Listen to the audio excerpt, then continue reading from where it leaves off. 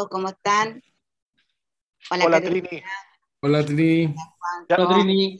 ya la había saludado la Trini, ¿o no? Ya la había saludado. ¿o no? No, acabo de entrar. Ah, entonces le dije Trinidad a otra persona. No, no, no.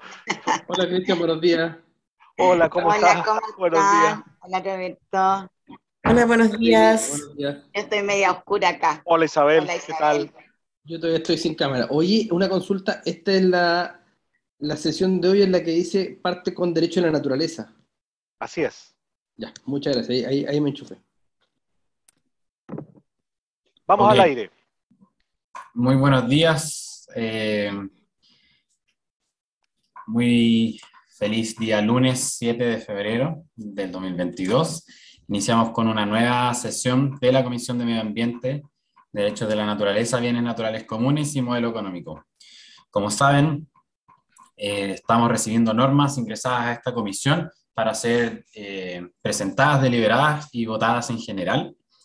Eh, estamos ya recibiendo normas con miras al primer informe sobre el primer bloque de esta comisión, el bloque que eh, desarrolla principalmente eh, todas las temáticas del área de medio ambiente y derechos de la naturaleza y derechos de los animales a su vez. Ese es el primer bloque. Eh, entonces, de ahora en adelante vamos a estar discutiendo en general y posteriormente en particular todas las normas de este primer bloque.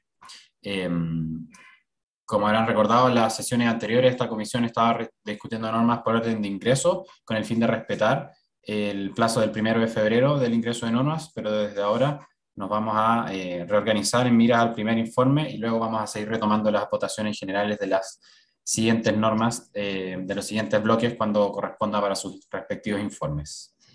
Así que antes de iniciar la sesión de hoy, como siempre, le vamos a dar la eh, palabra al secretario para que dé la cuenta. Eh, muchas gracias, señor coordinador. Eh, no tenemos documentos hoy para la cuenta, sin embargo, es, necesario votar que mañana se darán cuenta de una serie de iniciativas que han estado ingresando, digamos, que han estado en proceso de asignación de comisiones y que ya mañana tendremos una nómina acabada sobre aquello. Eso es todo. Gracias, Cristian. Eh, bueno, vamos entonces con la primera presentación de norma del día de hoy.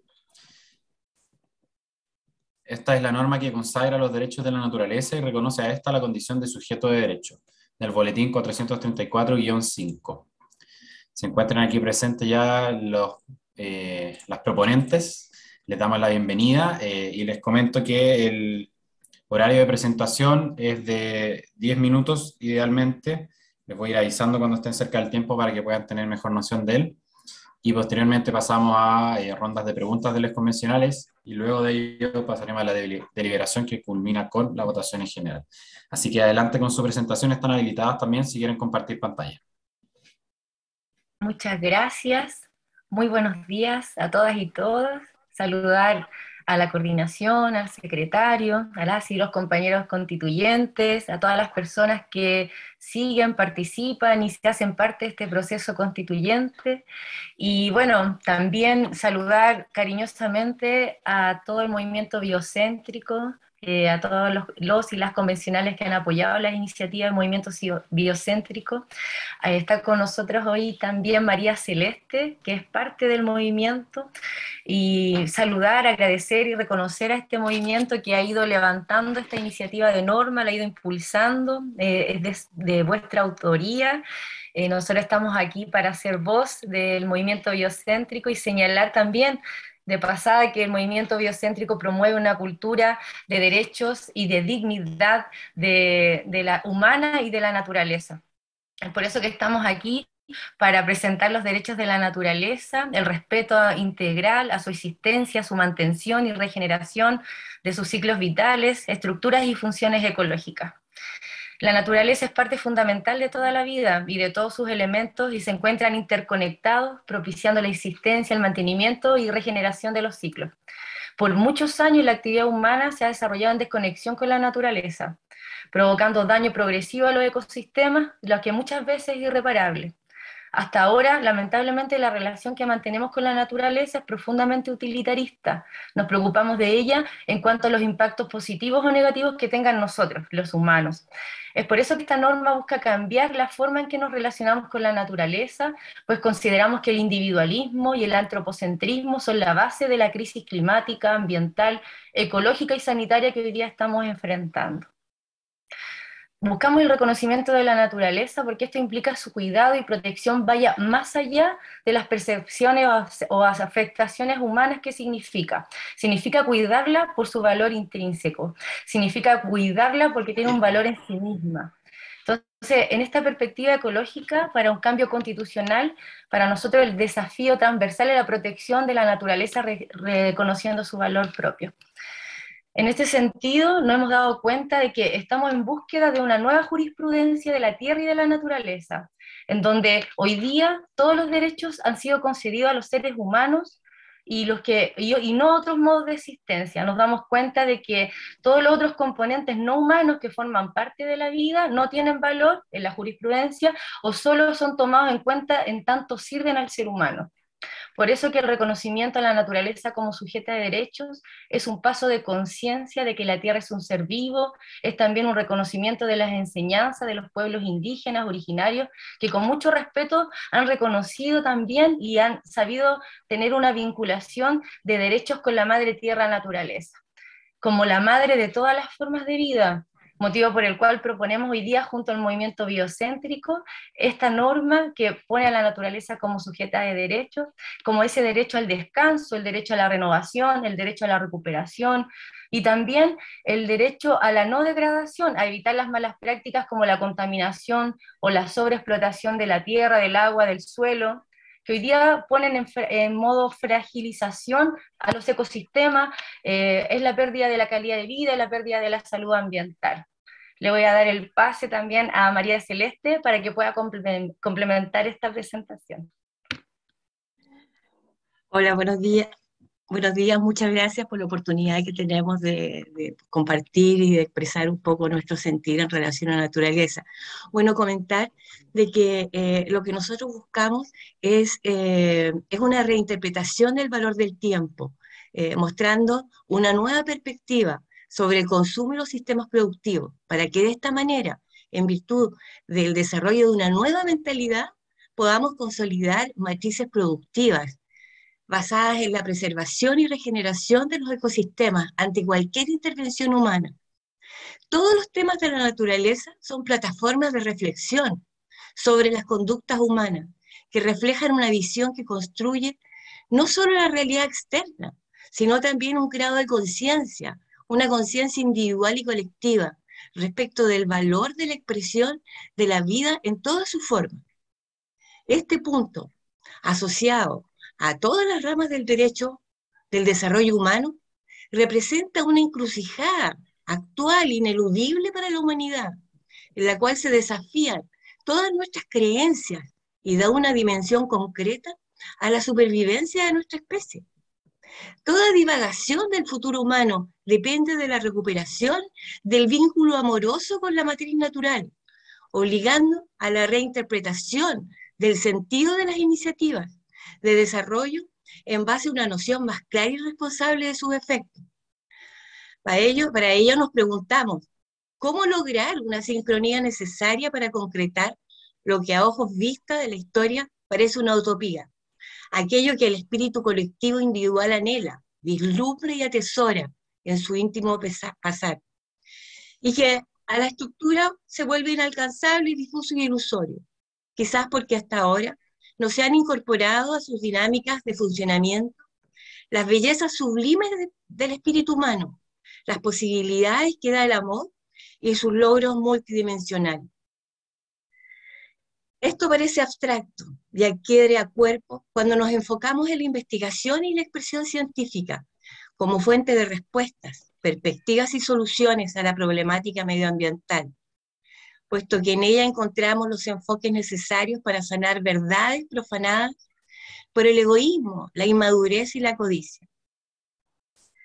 Enfrentamos, y ante ella es fundamental que el trabajo de enfoque se puedan generar marcos constitucionales que propicien leyes y mandatos orientados a un buen vivir, que sea descentralizado, consciente, que sea inclusivo y dé responsabilidades concretas a todos los involucrados en la cadena.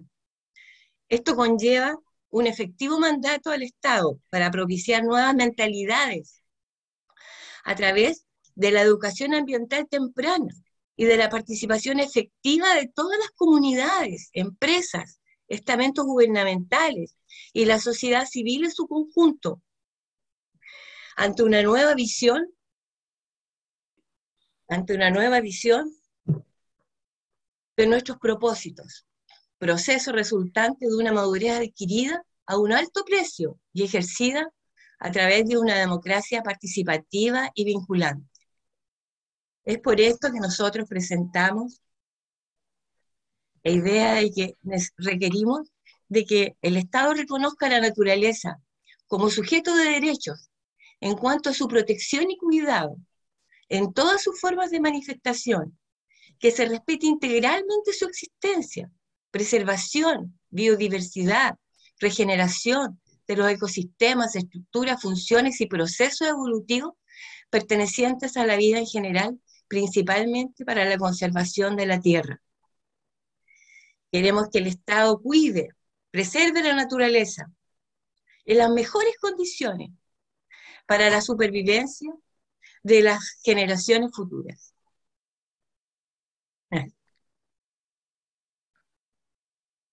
Super, yo eh, aprovechar de mencionar el articulado que estamos proponiendo eh, menciona que el Estado reconoce a la naturaleza como sujeta de derechos en cuanto a su protección y cuidado, que el Estado obliga a tomar decisiones para la preservación de la naturaleza, la biodiversidad y, los ecosistemas, que se aplicará también el principio precautorio en cuanto a las actividades económicas amenazas los ciclos de la naturaleza, significa que cuando no hay información científica suficiente o, o hay conocimiento de afectación, evitar los impactos, prevenirlos, a través del principio precautorio.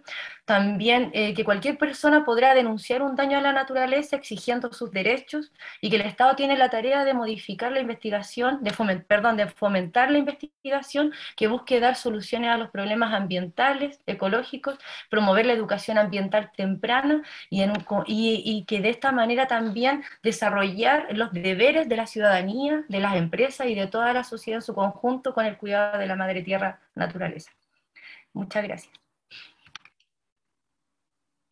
Muchas gracias. Les damos eh, un aplauso virtual entonces a Carolina María Celeste por su presentación.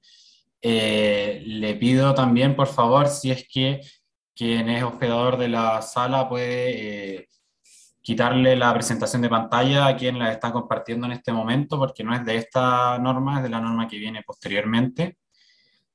También si nos está escuchando a quien está a través del nombre de Gremio Bioconstrucción, eso se puede detener la pantalla. Gracias. Eh, bueno, ahora sí, entonces les damos otro aplauso virtual por su presentación. Eh, muchas gracias. Eh, les cuento que todavía les queda un minuto por si quieren agregar algo más antes de pasar a las preguntas.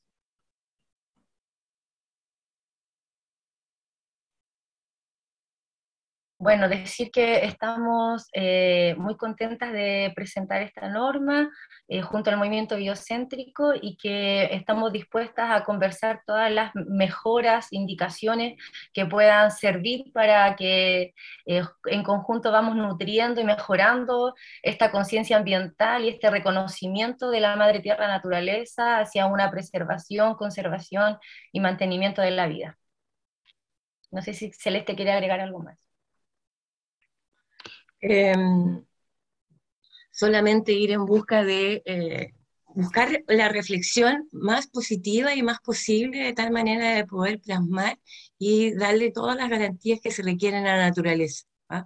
Eh, que esté presente toda la disposición y la voluntad. Existe eh, un cambio, de, un cambio de, de, manera de pensar, un cambio de mentalidad en relación a la naturaleza. Tenemos un sistema productivo de consumo que de alguna manera hemos, hemos, se ha extremado, de tal manera de que se entiende que el consumo es, lo que produce la felicidad y la verdad es que estamos dentro de una sociedad donde la naturaleza nos ofrece maravillas permanentemente. Sorprendámonos con esas maravillas que nos, que nos dispone y cuidemos de esta naturaleza para todas las generaciones futuras. Gracias. Muchas gracias a ambas también por sus reflexiones. Eh, abrimos entonces el espacio a preguntas de los convencionales. Eh, me aparece Jorge en primer lugar. Gracias, señor coordinador. Buenos días a todos y a todas. Un gran y afectuoso saludo a, a María Celeste, a Carolina, que están defendiendo esta norma, que me interpreta completamente, que siento que va, no solamente que tiene el espíritu, sino que además tiene una construcción que eh, refleja que está basada en los principios que hoy día estamos buscando cambiar en esta nueva, esta nueva propuesta constitucional. Tengo una pregunta que, que yo quisiera compartir, porque hoy día se habla de un estado ecológico. Quisiera saber de qué manera esta norma se complementa con un estado ecológico.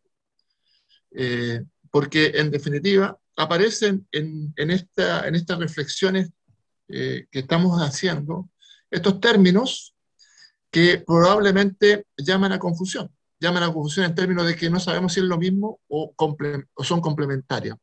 Y muchas veces algunos incluso argumentan que son contrarias. Entonces, a mí me parece muy pertinente aclarar, por eso la pregunta, si este, esta propuesta va en un sentido de eh, complementar la, una constitución ecológica. Gracias. Gracias, Jorge. Eh, ¿Algún eh, otro constituyente quiere hacer una pregunta? Peña, adelante. Eh, bueno, Caro, eh, gracias por la norma. Creo que tiene, como dijo Jorge, el espíritu, digamos, de una norma que tiende a proteger, a preservar, a darle derechos a la naturaleza y coincido con, con, los objetivos de los artículos. Ahora, eh, quería consultarles si consideran necesario ¿ya? incluir de manera más explícita ¿ya? Eh, los signos vitales de la naturaleza, porque igual que los seres humanos, cuando se quiere saber, digamos, eh, cuál es el, cómo estamos, ¿no? nos miden la presión, nos miden una serie de cosas y dicen, está bien, bueno, hay tres signos vitales en general, por, por supuesto que esto lo voy a llevar más en particular, que yo creo que miden el, a la naturaleza como está, que son los ciclos naturales, el equilibrio del ecosistema y la biodiversidad. Son esos tres signos vitales los que miden el estado de la naturaleza. Cada uno de ellos se puede desprender de otro y, en, total generan los nueve límites al, crecimiento, los, nueve límites planetarios están dentro de esos tres, dentro de esos tres grandes signos. Entonces, ¿y por qué lo digo? Porque a lo mejor en el, para efectos de poder de que la constitución se aplique, ¿ya?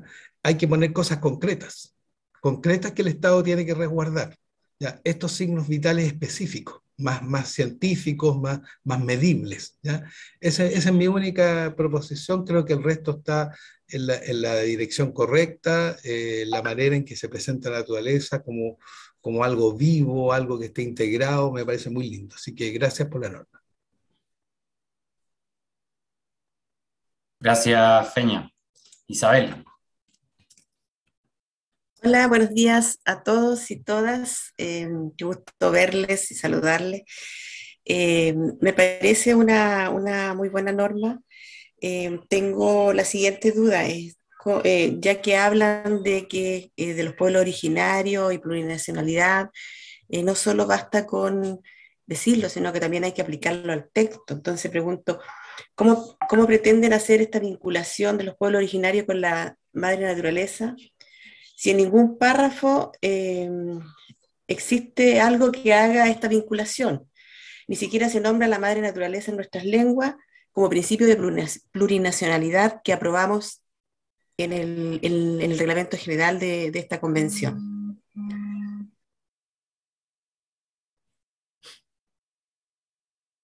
Gracias, Isabel. Gloria. Gracias, Juanjo. Saludar a todas y todos esta mañana. Oye, bueno, eh, este es un tremendo avance el, el, que se reconozca la naturaleza, ¿ah? un tremendo avance al ordenamiento jurídico. Eh, bueno, yo quería eh, agregar tres cositas como para mejorar eh, el texto. Soy parte también de los que firmaron la, la norma, sin embargo, igual yo creo que eh, se puede ir incorporando algunas cositas. Yo creo que es muy importante eh, dejar establecido que, que, muy necesario que contar con un defensor de la naturaleza. O sea, de hecho, eh, defender jurídicamente estos derechos requiere de un defensor. Entonces, de alguna manera, dejarlo como establecido por ahí, que sea un verdadero garante y guardián de, de estos derechos de la naturaleza. ¿ya? Ese uno con respecto al punto número uno, el artículo número uno. Con respecto al artículo número cinco, Em, cuando se habla de impacto grave y permanente, em, yo creo, lo, lo, hemos estado estudiando y yo creo que podríamos llamarlo daño ambiental, que jurídicamente es como un concepto que aplica más ya a, a este, a este respecto. Y em, claro, porque cuando se está hablando de deterioro más grave en contra del medio ambiente y la naturaleza, generalmente es difícil de revertir, así es. Y, y, lo otro del artículo 6, eh, que también agregar a, la, a, las generaciones presentes, porque habla de las generaciones futuras. Y pensamos que eh, también se tendría que aplicar la justicia intrageneracional. Eso, nada más, y está, me parece súper que, que, vayamos avanzando en, en, este tan importante reconocimiento a la, la, naturaleza, de manera que sean deberes para nosotros, eh, de, derechos para la, para la naturaleza y deberes para la ciudadanía y para el Estado de Chile. Eso, gracias. Gracias, Gloria. Eh, adelante con las respuestas. Bien, a mí me gustaría señalar que claramente, como lo menciona Jorge, estamos eh, en una reflexión constitucional por eh, constituir un Estado ecológico y este es un paso fundamental para eh, poder superar el paradigma del antropocentrismo, ¿verdad? Del utilitarismo de la naturaleza y también del reconocimiento de su valor intrínseco. Como lo decíamos en la presentación, para nosotros es un paso fundamental y, y tiene que ver con con también con eh, todas las otras eh, normas que se han ido presentando, como eh, el agua como un bien común, ¿verdad? Natural, y así también los humedales. Entonces sabemos que hay un conjunto de normativas que viene a reconocer el valor que tiene el agua en sí mismo, los glaciares eh, y, y todos los componentes que forman parte de la, de la madre tierra naturaleza. También creemos que respecto a lo que señala Isabel, que esto requiere una mayor conversación, diálogo y nutrición con los pueblos originarios. El articulado viene del movimiento biocéntrico que reconoce también que, que, hay, una, hay una sabiduría ancestral de los pueblos, si bien no se menciona en el articulado, es algo que se puede mejorar y que se puede complementar. Y claramente, como lo señalaba Gloria, eh, se requiere una, eh, eh, la, exigibilidad de los derechos de la naturaleza y para eso también se han construido propuestas de norma de, norma de la Defensoría Popular y de la Naturaleza en la Comisión de los Sistemas de Justicia. Entonces yo creo que eh, hay un conjunto de normas que acompaña esta iniciativa y que permite avanzar en una comprensión distinta de la naturaleza, de la madre tierra naturaleza y de, lo, de, lo, de la vida no humana eh, en pro de poder mantener eh, la, las garantías de la, de la vida y de la naturaleza, de los ciclos de la naturaleza. Y en ese sentido los indicadores, los signos vitales que menciona Fernando son, son temas que ya se han ido abordando y que claramente se van a poder profundizar al tener este mandato constitucional como es la, eh, la biodiversidad, ¿verdad? Eh, los ciclos naturales, los equilibrios ecosistémicos. Sabemos que para poder trabajar el, el, ciclo del agua vamos a trabajar en una gestión integrada de cuenca, reconociendo lo hidrodinámico, reconociendo la, la, la ecodependencia y la interdependencia de todos los ambientes y elementos que forman parte de la naturaleza. Eso por mi parte, eh, le deseo también la palabra a María Celeste si quiere complementar la respuesta. Eh, gracias. Gracias. Eh, solamente agregar de que esta norma fue estructurada, digamos, en base a a, rondas y a rondas que nosotros realizamos, ¿ah? lo cual apareció lo más relevante. O sea, hicimos siete presentaciones de siete normas distintas y entre ellas la naturaleza, que era la que nos parecía más relevante.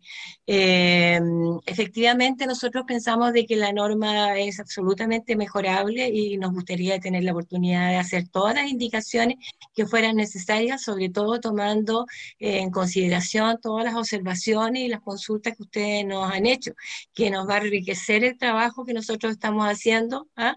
y nos da la oportunidad también de eh, mostrar eh, una mirada mucho más profunda y más amplia de lo que es la naturaleza. Así que esperamos poder hacer las indicaciones prontamente de tal manera de mejorar sustancialmente la normativa que nosotros estamos presentando en este minuto. ¿ah? Eso. Muchas gracias a ambas por las respuestas. Eh, no sé si hay más preguntas antes de pasar a la deliberación?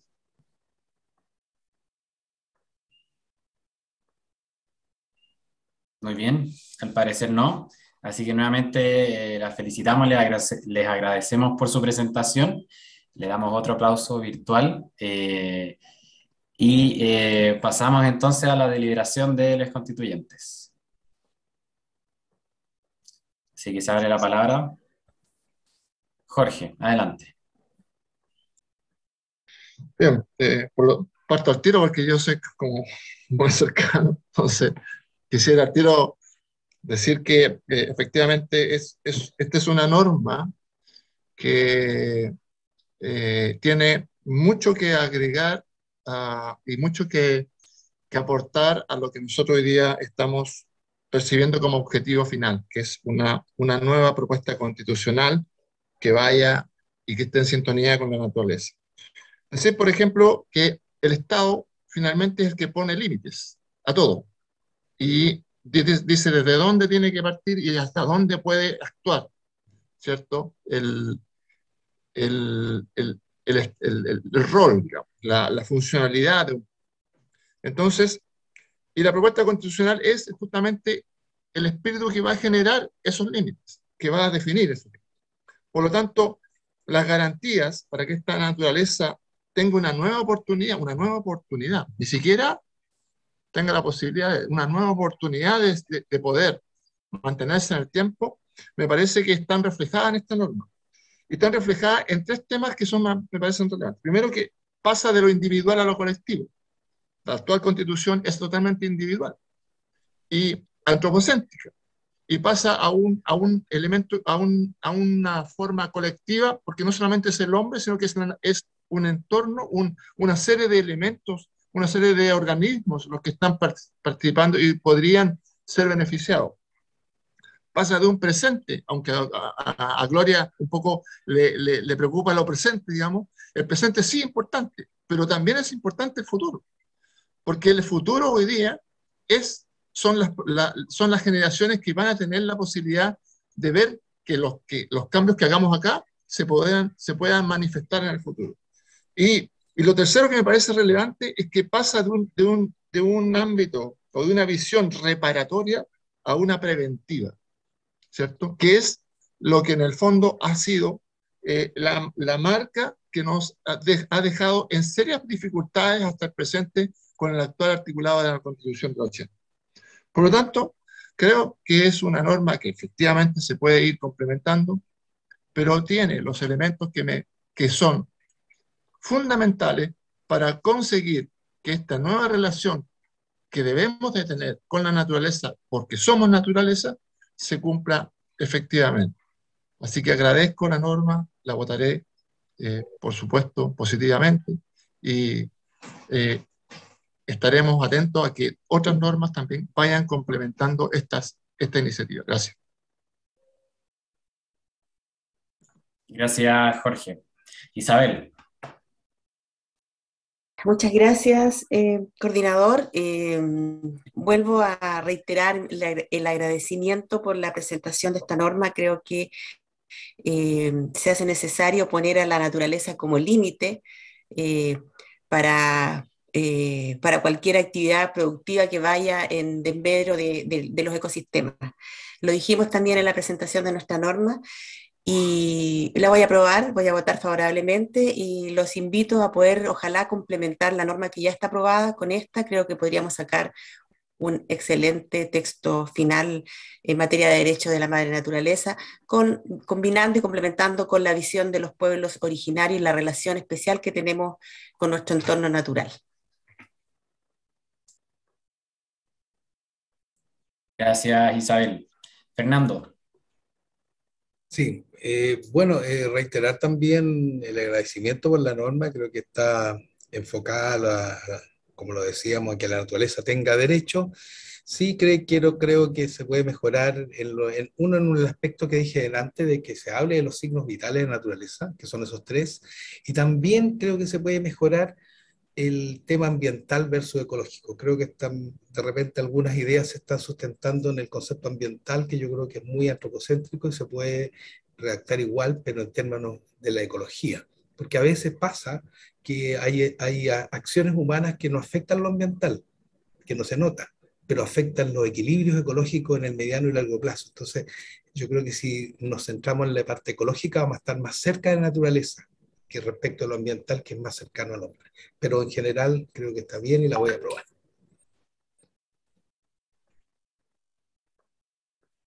Gracias, Feña. Carolina. Bueno, como yo no hice pregunta, primero quiero agradecer la norma. Creo que la norma va del espíritu de la mayoría de los acá presentes, por no decir todos, estableciendo la naturaleza, estableciéndola como sujeto de derecho, que es un avance y que debe quedar en esta nueva constitución, obligando al Estado a tomar medidas para proteger a la naturaleza, también a las personas, comunidades para denunciar.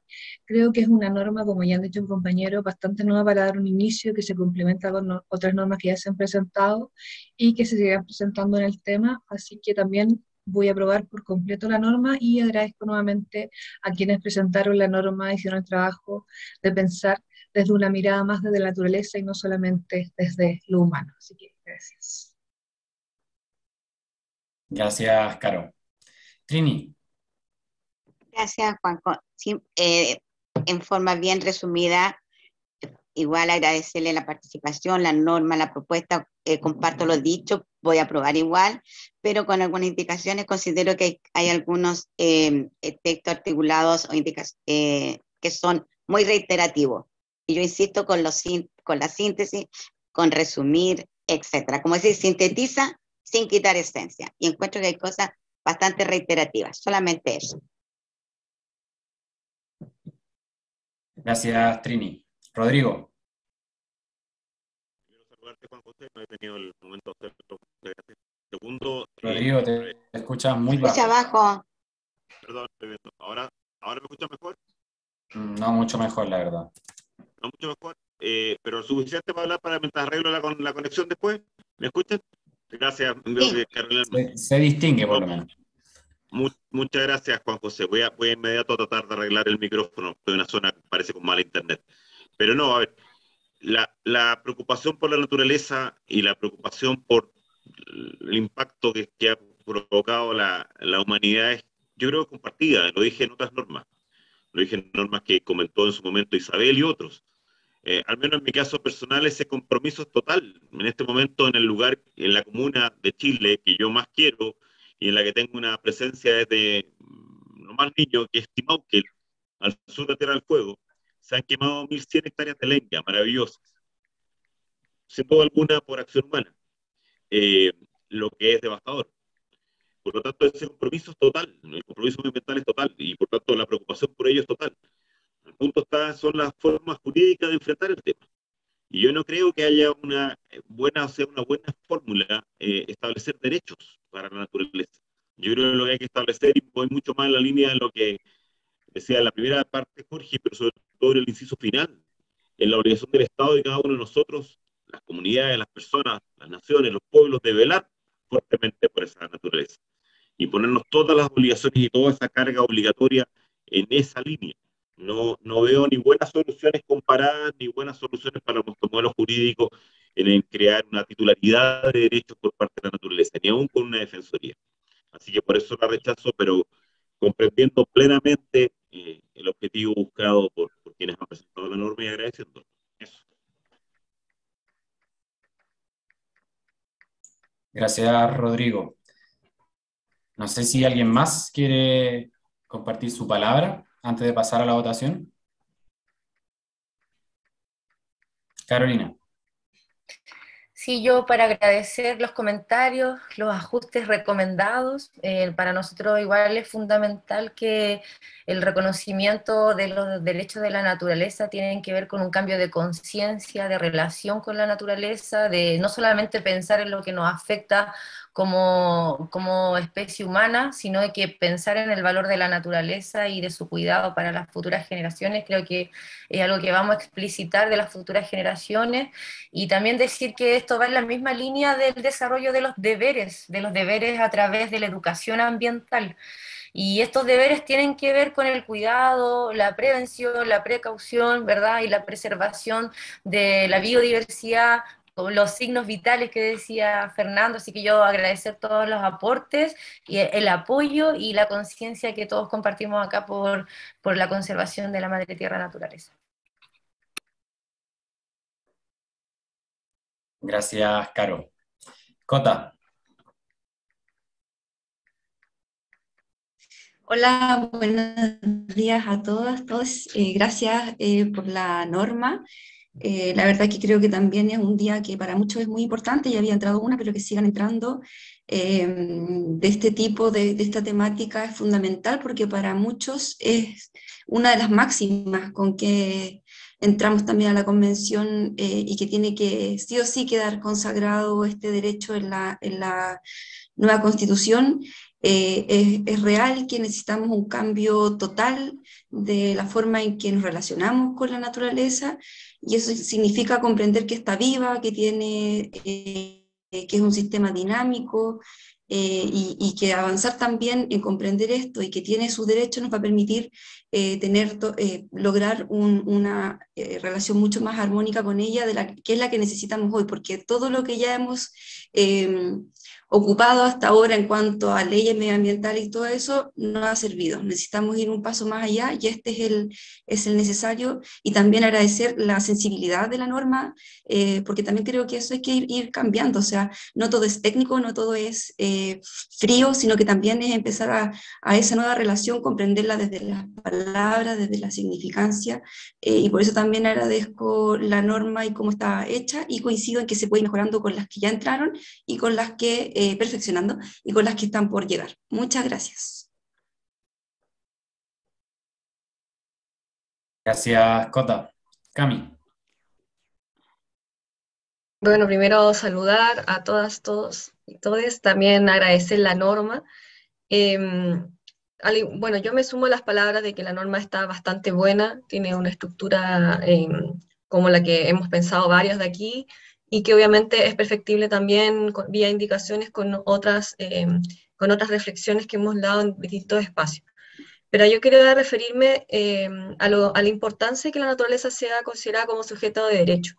Hoy eh, no solamente estamos eh, generando un cambio de paradigma, ¿cierto? En donde queremos descosificar a, a, otras formas de vida que no sean solamente la humana, en un ejercicio de liberación, un ejercicio de, de, de ampliar la comunidad moral, eh, y en eso también, obviamente, las visiones de los pueblos originarios ha sido muy, muy relevante en esta, en esta visión de, de, integración íntima entre el humano y la naturaleza, sino que también esto tiene un efecto jurídico. Y ese efecto jurídico es que la naturaleza no solamente se considere como un objeto jurídicamente protegido y por tanto objeto de derechos humanos, ¿cierto? En particular el, derecho a la propiedad, que es el derecho que por excelencia eh, eh, las personas eh, jurídicas y naturales ejercemos sobre los objetos, sino que tiene que ver con establecer una subjetividad de derechos en donde los derechos se ponderan entre sí. No, no es posible que un objeto tenga derechos solamente lo pueden tener los sujetos. Y los derechos, y por eso es tan importante también establecer cuáles son esos derechos, se pueden ponderar en la medida que estemos ante dos sujetos. Cuando hay un objeto jurídicamente protegido, jurídicamente siempre el objeto va a estar por debajo del sujeto. Entonces, si mantenemos esa relación, obviamente nunca le vamos a dar la preponderancia que tienen derechos tan importantes la naturaleza como el respeto a sus ciclos naturales, ejemplo, el ciclo del agua que hoy en día está alterado en todo el país. Ese es el efecto jurídico de considerar la naturaleza como sujeto de derecho. Y, es importante dejarlo claro porque obviamente esto no es solamente retórica, no es solamente un cambio cultural, que obviamente tiene mucho de eso, sino que además tiene un efecto importantísimo en lo que van a ser los instrumentos también y las acciones judiciales en torno a la naturaleza como protegida ella misma y no respecto solamente de intereses humanos. Y eso lo hemos visto también en distintos eh, ámbitos eh, eh, del, sistema judicial, incluso cuando se le niega la legitimidad activa a ciertas personas cuando quieren poner por sobre los intereses humanos o de las comunidades a la naturaleza en sí misma por derecho de ser naturaleza. Ese tipo de, lamentables aberraciones que no existían en el sistema jurídico no, no seguirían, existiendo si consideramos que la naturaleza en sí está protegida como un sujeto. Así que eh, por eso que es tan importante que hagamos este cambio y por supuesto que también va a tener muchos efectos en nuestra legislación.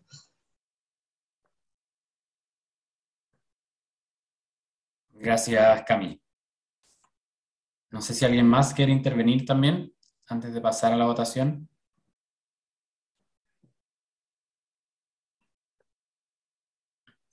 Bueno, avanzamos a la votación entonces. Secretario. Muy bien. ¿Me escuchan ahí? Sí.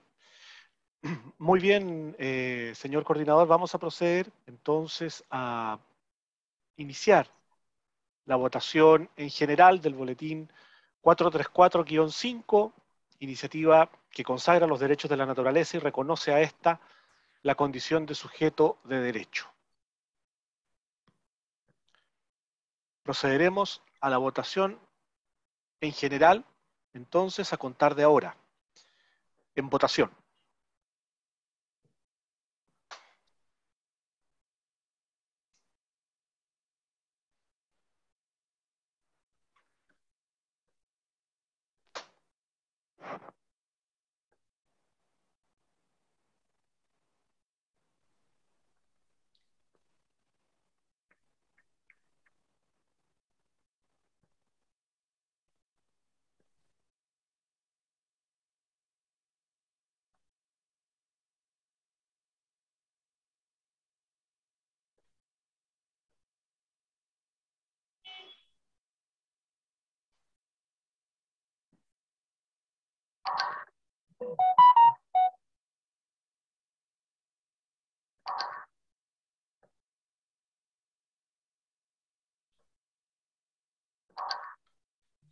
La señora Bessie Gallardo se encuentra presente, ha podido consignar su votación.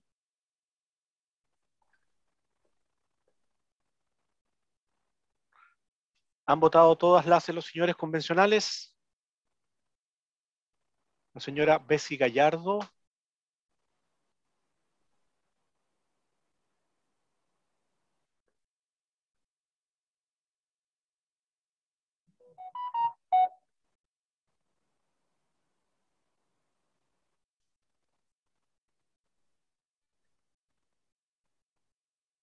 Muy bien. Finalizada la votación.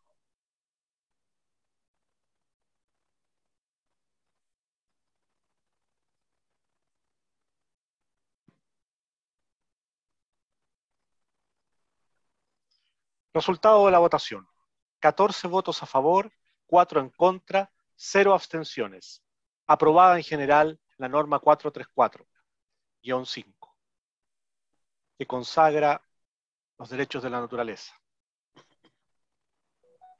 Muchas gracias, Cristian. Felicitaciones. Les damos otro aplauso virtual a los proponentes de la norma. Los felicitamos eh, por haber sido aprobada también. Así que muchas gracias por su presentación y por habernos también abierto la discusión al respecto. Eh, bueno, debemos avanzar. Tenemos todavía tres normas por ver. Así que ahora proseguirá la camino. Bueno, nuevamente, muy buenos días. Como bien decía Juan José, vamos ahora con la próxima norma de esta fase de deliberación y de votación en general, que es de construcción en armonía con la vida.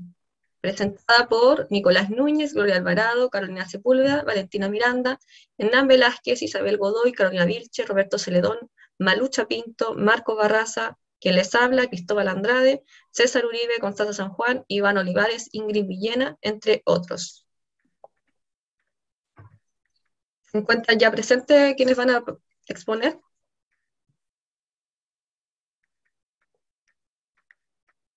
Hola, buen día. Sí, estoy acá presente. Hola, Bárbara, muy buen día. ¿Tienes alguna presentación que mostrarnos? Sí, estoy acompañada de Catalina Inostroza. Ella me va a acompañar con la presentación. Hola, buenos días. Buenos días a todos Buenos y todas. días. Bienvenida, Catalina, también. Muchas gracias. Voy a compartir pantalla entonces. Tienen 10, compartan nomás. Mientras tanto les aviso que tienen 10 minutitos para exponer. Cuando le estén quedando dos minutos les vamos a dar un aviso. Perfecto, gracias.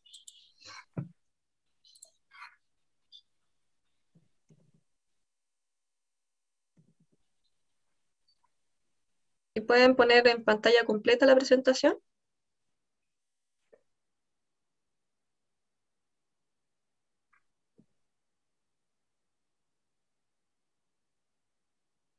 Ahí se ve.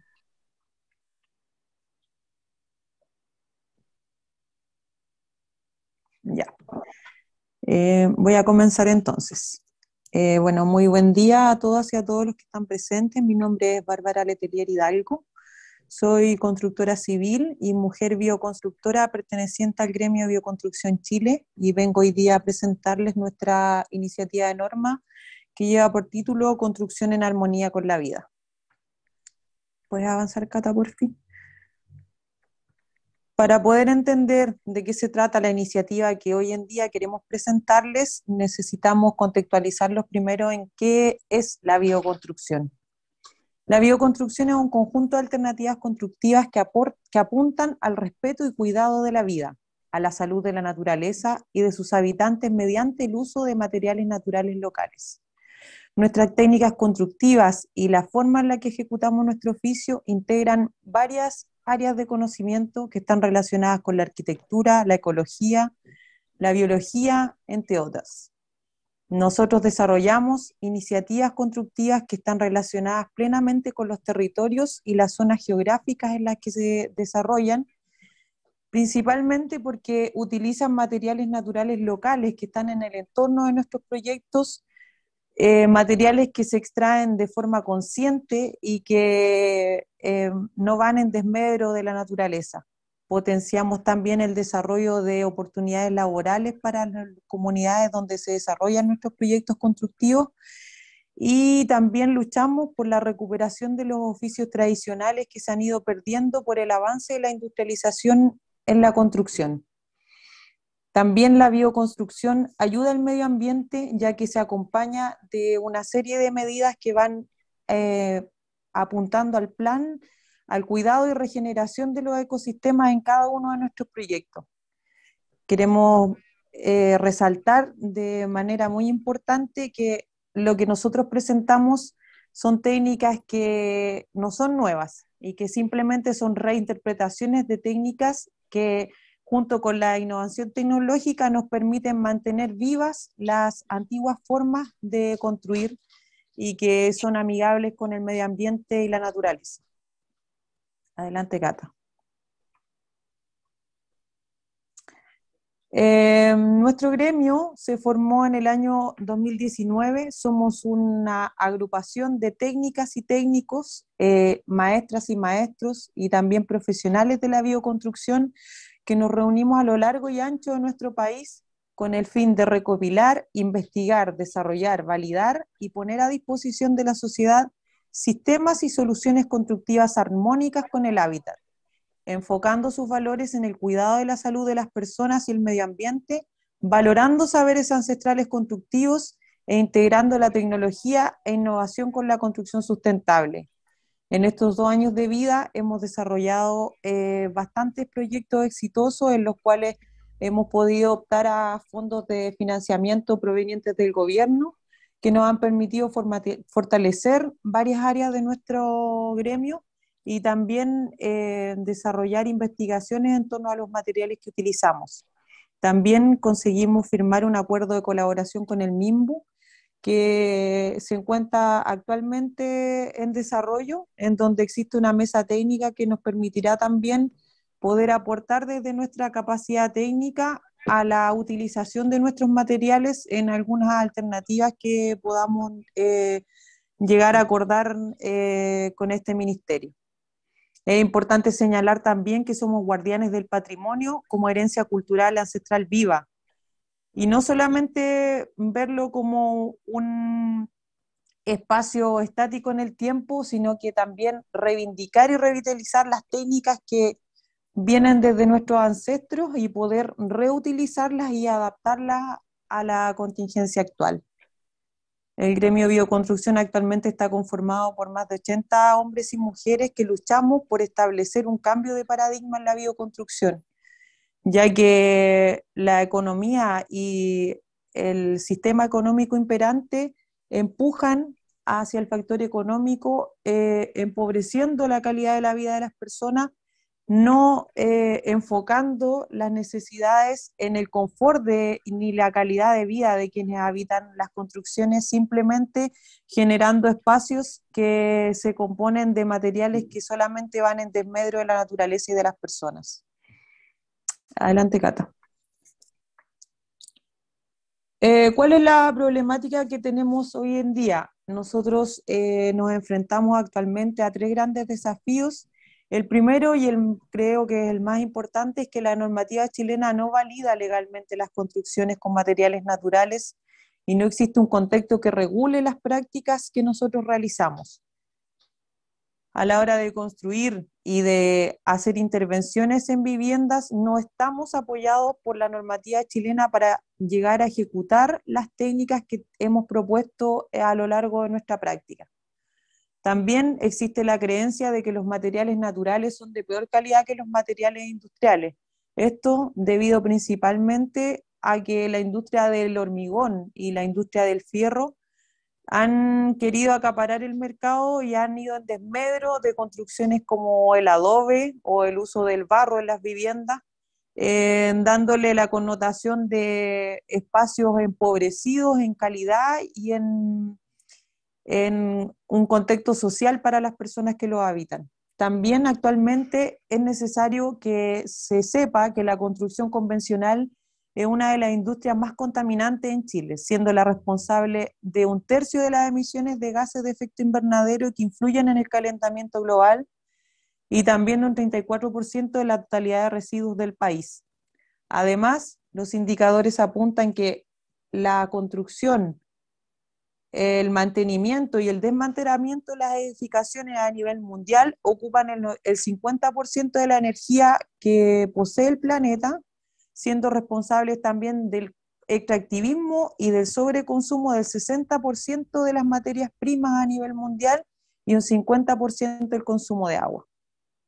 Siguiente, Cata, por favor.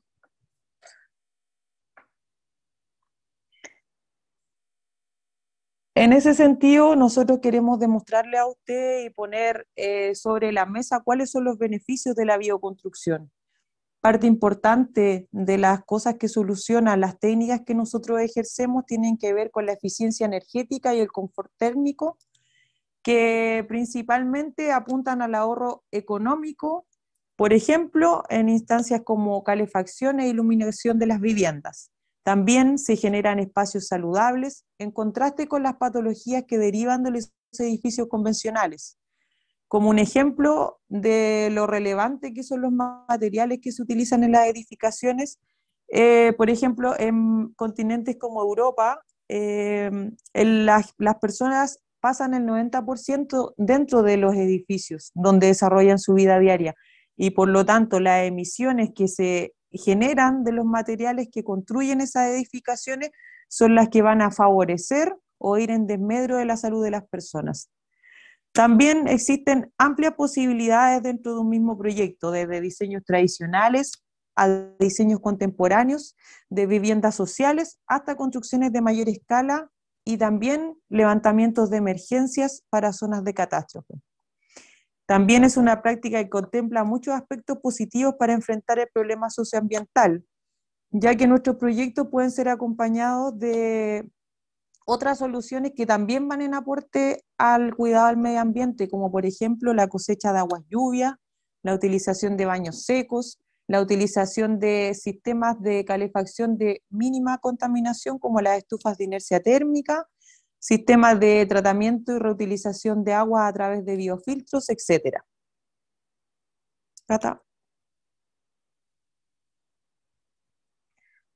A continuación vamos a presentar a ustedes algunos referentes de bioconstrucción a nivel internacional como también a nivel nacional. El mundo está habitado por, una, por un sinnúmero de edificios que han sido construidos completamente en tierra cruda, y que son una representación de la calidez y del confort que se puede obtener a través de distintos proyectos en distintas escalas. Avanza, por favor, Cata.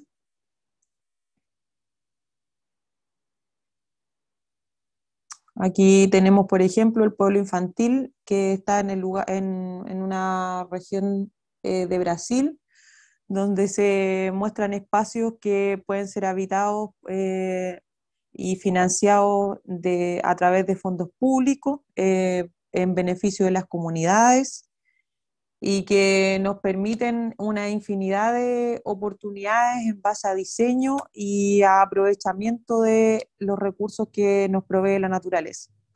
Avanza, Cata, por favor. Aquí en Chile también tenemos excelentes expositores en cuanto a diferentes sistemas constructivos. Esta es una vivienda que se desarrolló en Batuco, en Chile. Eh, adelante, Cata, porfa.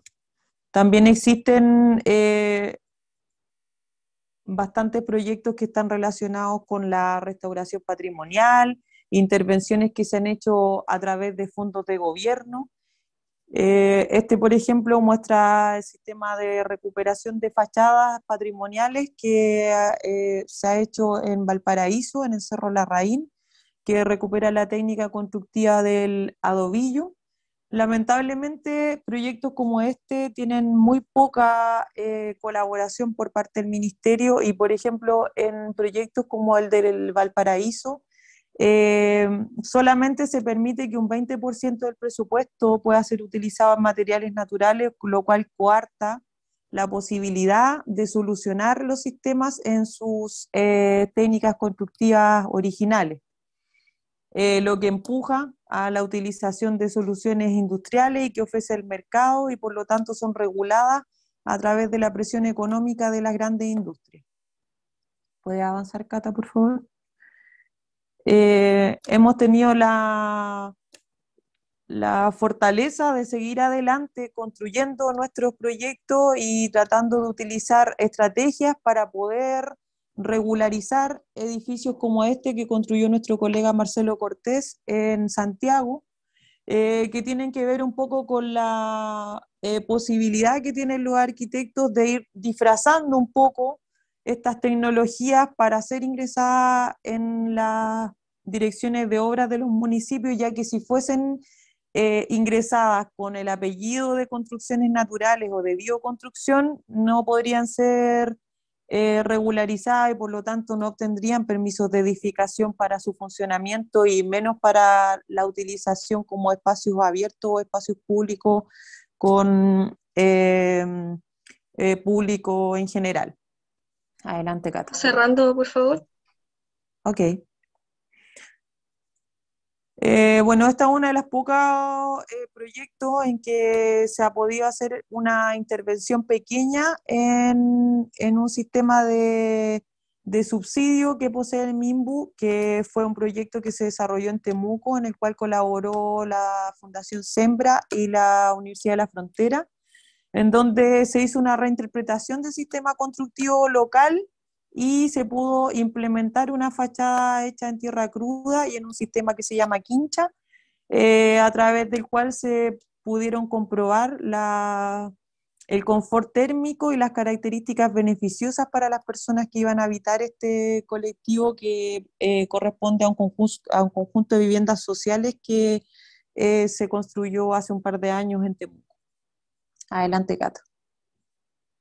Por último, eh, nuestra propuesta de norma tiene que ver con lo siguiente. El Estado reconoce y garantiza el derecho a una vivienda digna y ecológica con pertinencia territorial, indígena y cultural adecuada para la salud humana y la biodiversidad. Para esto promueve técnicas de construcción y autoconstrucción de bajo impacto ambiental como la bioconstrucción, fortaleciendo la educación y capacitación en este tipo de técnicas, relevando la innovación y el rescate de culturas y técnicas constructivas ancestrales para estos fines. El Estado, a través de sus políticas, planes y programas de vivienda y urbanismo, deberá incorporar las particularidades ambientales de cada territorio para mejorar la habitabilidad tanto de aislación acústica y de privacidad. La última, por favor, Cata. Y por último, nosotros luchamos por validar y potenciar el desarrollo de la bioconstrucción. Para integrarlo al diseño de nuestras construcciones es fundamental que si queremos combatir la crisis climática, habitar en armonía con la naturaleza y sembrar un futuro para las próximas generaciones. Esperamos que nuestras construcciones sean una extensión de nuestra conciencia y donde la vida fluya en armonía. Gracias por escucharme. Muchísimas gracias. Vamos a darle un ratito a Nicolás, unas palabritas para que pueda cerrar la presentación. Nicolás, no te escuchas.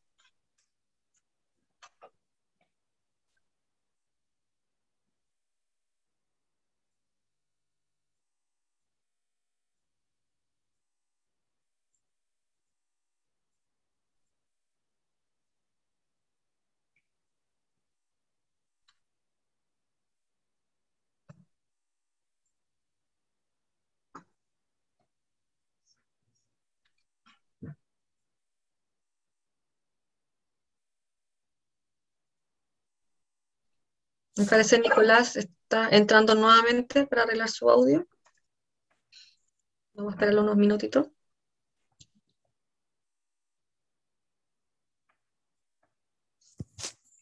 ¿Me escuchan ahí o no? Ahí te escuchas, Nicolás. Ahí sí. Qué raro. Ya, muy cortito, solamente hablarle, eh, queridos compañeros, con respecto a la necesidad de avanzar en que tengamos alternativas de construcción a la forma en que entendemos la construcción hasta el día de hoy y, específicamente hablando en bioconstrucción, que es más amplio, pero también dentro del ámbito específico de la vivienda. La encuesta que hace en el año 2017 revelaba que nuestro país tiene un déficit habitacional de 740.000 viviendas para 2.200.000 personas aproximadamente. Estas son eh, viviendas que se necesitan reemplazar por viviendas inhabitables que ya están hoy día de un 42% para entregar viviendas a familias llegadas de un 58%. A nivel regional, Magallanes es la que tiene un menor déficit con un 6%, Tarapacá un 18%, Tarapacá y Atacama. La metropolitana concentra el 43% del déficit habitacional, Valparaíso 9.8% y Biobío 8.3%. ¿Cierto? El 72% de las personas que conforman este déficit habitacional eh, reciben menos de 772 mil pesos mensuales. Hablamos de 1.658.754 personas. Y el 19% de las personas que están en un déficit habitacional eh, son personas de tercera edad que tienen que seguir trabajando. En los últimos 10 años, el precio de la vivienda solamente en la región metropolitana ha aumentado en un 100% y los salarios han crecido solamente en un 36%. El 52% de los hogares en Chile no poseen las condiciones mínimas bancarias para poder acceder a un crédito hipotecario, ¿cierto? Em, hoy día, con respecto al 2020-2021, según la Fundación Techo para Chile, el número de campamentos aumentó de 802 a 969 el número de familias que en esta situación de 47.050 a 81.643, y esto les va a parecer interesante, la región de Valparaíso sigue liderando el país con campamentos, 225 campamentos. Uno de cuatro campamentos están en eh, la región de, de Valparaíso. Por lo tanto, avanzar en una alternativa, en este caso de bioconstrucción, para modificar la construcción como la atendemos hoy día desde el punto de vista clásico, es avanzar en generar las condiciones, más allá también de asegurar un derecho a una vivienda digna y ecológica propiamente tal. Eso, querido compañero, solamente con la necesidad de por qué es importante aprobar esta norma. Muchísimas gracias, Nicolás. Ahora sí, les damos un aplauso virtual a las expositoras y, a Nicolás también por, esa importante información que nos da. Y ahora pasamos a las preguntas de las y los constituyentes. Vamos con Rodrigo Álvarez. Muchas gracias, Camila. ¿Me escuchan un poco mejor ahora? O... Gracias. Te escuchas cortado, pero te escuchas más fuerte. Estoy tratando de arreglar el tema por, por la conexión, disculpen. No, mis preguntas son dos. La primera, eh, debido a que precisamente son otras comisiones las que están lidiando con los temas de recursos, de acciones cautelares que protejan derechos, quisiera preguntarles cómo lo ven ustedes, porque están consagrando un derecho eh, muy relevante, pero que toda su efectividad está también condicionada en la capacidad de los ciudadanos de reclamar de la misma. Entonces, ¿cómo están pensando ustedes que ese tipo, más allá que es materia de otras comisiones, de hecho de dos comisiones, pero cómo ven ustedes la capacidad de, exigir el cumplimiento del mismo? Y la segunda me quedo con la intervención reciente de Nicolás. A mí, a mí me parece que, que, es mucho más lógico establecer el derecho a la vivienda digna, como él lo expresa, pero me parece que todos los elementos posteriores son propios de la ley y de reglamentos. De hecho, no me parece que la Constitución tenga que tomar ciertas definiciones que al menos me parece mucho más lógica que las tome el legislador y el Ministerio de Vivienda. Entonces, la, típica discusión que, como les digo, más, más jurídica, más profunda, más intelectual, de que ciertas materias que yo creo que no deberían estar en la Constitución, así como el derecho a la vivienda digna perfectamente puede estar, me parece todo el resto de ese elementos son más propios de la ley. Gracias, Rodrigo. Vamos con Roberto. Muchas gracias, coordinadora. Yo estoy igual que Rodrigo con problemas de conexión, así que voy a apagar la cámara para que se escuche mejor. ¿Se escucha bien? Se escucha bien. Ya. Bueno, en el mismo, en la misma línea que Rodrigo, el derecho a la vivienda digna, yo creo que no hay, no hay discusión entre ninguno de nosotros ni entre los 155 convencionales de la, de la convención. Pero aquí hay ciertas materias que son propias de reglamento. Además, se hace extensivo el tema ecológico a todo tipo de vivienda. Entonces, eso me, me preocupa un poco, sobre todo que no están cuantificados los costos. Si hubiese sido un poco avanzando hacia la línea de la vivienda social y una cuantificación clara de cuáles van a ser los impactos y quizá un texto mucho más armónico en el sentido que el Estado deberá en las viviendas sociales eh, incorporar elementos ecológicos, podría ser mucho más factible haber dado mi aprobación. Yo en este caso me voy a abstener de votar, no por estar en contra de la vivienda digna, de hecho soy uno de, la primera norma que se presentó, va en esa misma línea, sino por la redacción que, que fue hecho y sobre todo porque los elementos pasan a ser obligatorios y no entiendo si va a haber alguna forma, algún control de poder exigir que esta vivienda sea ecológicamente sustentable por parte de los ciudadanos o va a ser solo una declaración de principio. Muchas gracias, coordinadora. Gracias, Roberto. Vamos con Trinidad. Gracias, Camila.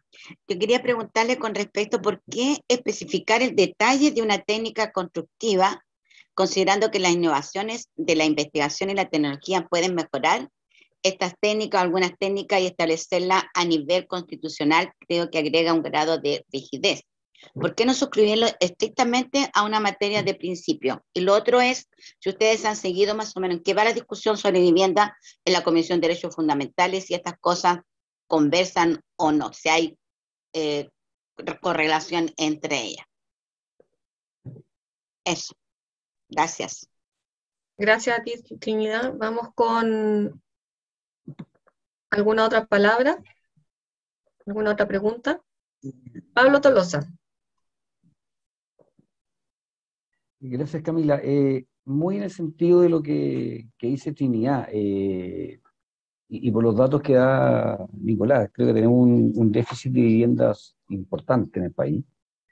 Y, creo que la materialidad de las mismas eh, me suena más a, través de una norma que regule este derecho a, general a una vivienda eh, digna, sobre todo basado específicamente en, el déficit que tenemos en, en, la actualidad, es decir, dejar regulado en la Constitución eh, y, amarrado en la Constitución, esta norma me da, la sensación de que puede generar eh, más que una eh, solución a un tema específico que es el déficit de vivienda, puede acrecentar ese, ese déficit. Entonces, me suena muy bien el tema de, la, de lo que es el derecho a la vivienda de hecho, Roberto ya lo señaló, él mismo presentó una, norma que creo que fue la primera norma respecto a eso, es decir, es transversal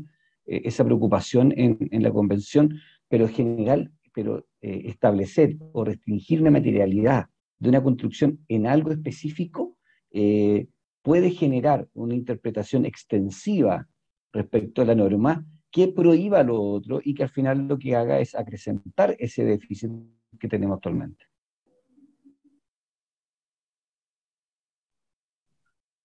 Gracias, Pablo. Hay dos preguntas más, pero vamos a cerrar hasta acá esta ronda para que puedan responder estas primeras cuatro preguntas.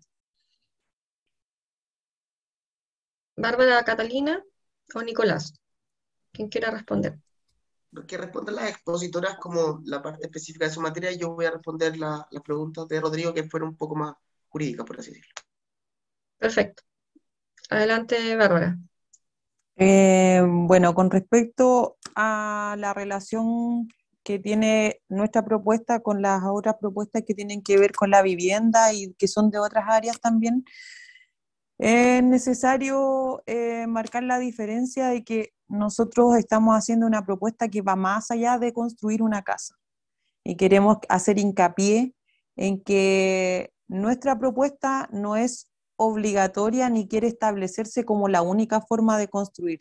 Simplemente estamos promoviendo sistemas que van en aporte y reconocimiento y protección del medio ambiente y que son parte de una gama de alternativas que no se establecen solamente en una técnica constructiva y en un material, sino que dado que el sistema económico y la industria han relegado los materiales naturales a un sector pequeño de la población o a los sectores rurales o a técnicas que se han ido desvaneciendo, hay mucha desinformación con respecto a las alternativas que ofrece la bioconstrucción como sistema constructivo y como solución de vida para las personas. No olvidemos que no se trata solamente de que las personas obtengan una vivienda y no se trata solamente de promover y, simplemente hacer leyes para que la gente obtenga una casa, sino que hay que preocuparse también por la calidad de vida de esas personas y de qué forma van a desarrollar sus vidas dentro de esas viviendas. Un ejemplo claro, por ejemplo, son las viviendas que fueron destruidas eh, post terremoto del 2010, casas patronales hechas en adobe y que el Ministerio de Vivienda las reemplazó por fachadas eh, prefabricadas o con materiales como Internit y Metalcon y que simulan ser una fachada patrimonial histórica en muchos centros históricos de los pueblos del sur de Chile. Es una burla ver cómo las personas cambiaron su calidad de vida por perder un material tan importante como la tierra cruda y los espacios que permitían esos sistemas arquitectónicos a las viviendas que les otorgaron los subsidios apurados que aprobó el MIMBU y que simplemente se encargaron de tapar las fachadas de las casas, disfrazando un sistema constructivo para hacerlo desaparecer. Eh, creo que es súper importante eso. Y eso no lo vamos a conseguir eh, apuntando solamente a conseguir viviendas dignas con los materiales que existen, porque si no el mercado va a regular la forma de construir con los materiales que venden en las grandes tiendas o en los retail. Y de eso no se trata. Se trata también de recuperar las técnicas constructivas, de hacer que las personas se atrevan a recuperar la capacidad de generar sus espacios con la asesoría técnica necesaria. Somos un gremio lleno de profesionales con experiencia en construcción natural y estamos a disposición de las personas para recuperar la dignidad de habitar sus espacios. Cata, ¿quieres aportar algo tú? Sí, yo quería aportar eh, que en el fondo es, importante tener conciencia de que si estamos hablando de este déficit habitacional y estamos hablando de los niveles de contaminación que tiene eh, la, construcción convencional el día de hoy, ¿cuál es el efecto o qué es lo que vamos a, a dejar como herencia junto con estas construcciones que necesitamos hacer? Es decir, si necesitamos construir un montón de viviendas más, eso no puede ir acompañado de un deterioro de la naturaleza y del medio ambiente que acompaña a estas viviendas, porque no solamente habitamos la casa, también habitamos ese espacio del planeta y el planeta en total. Por lo tanto, creo que sí es importante pensar en cuáles son las consecuencias de cómo vamos a solucionar estas necesidades de habitacionales. Eso. Sí, yo quería señalar muy cortito con respecto a las preguntas de, de Rodrigo.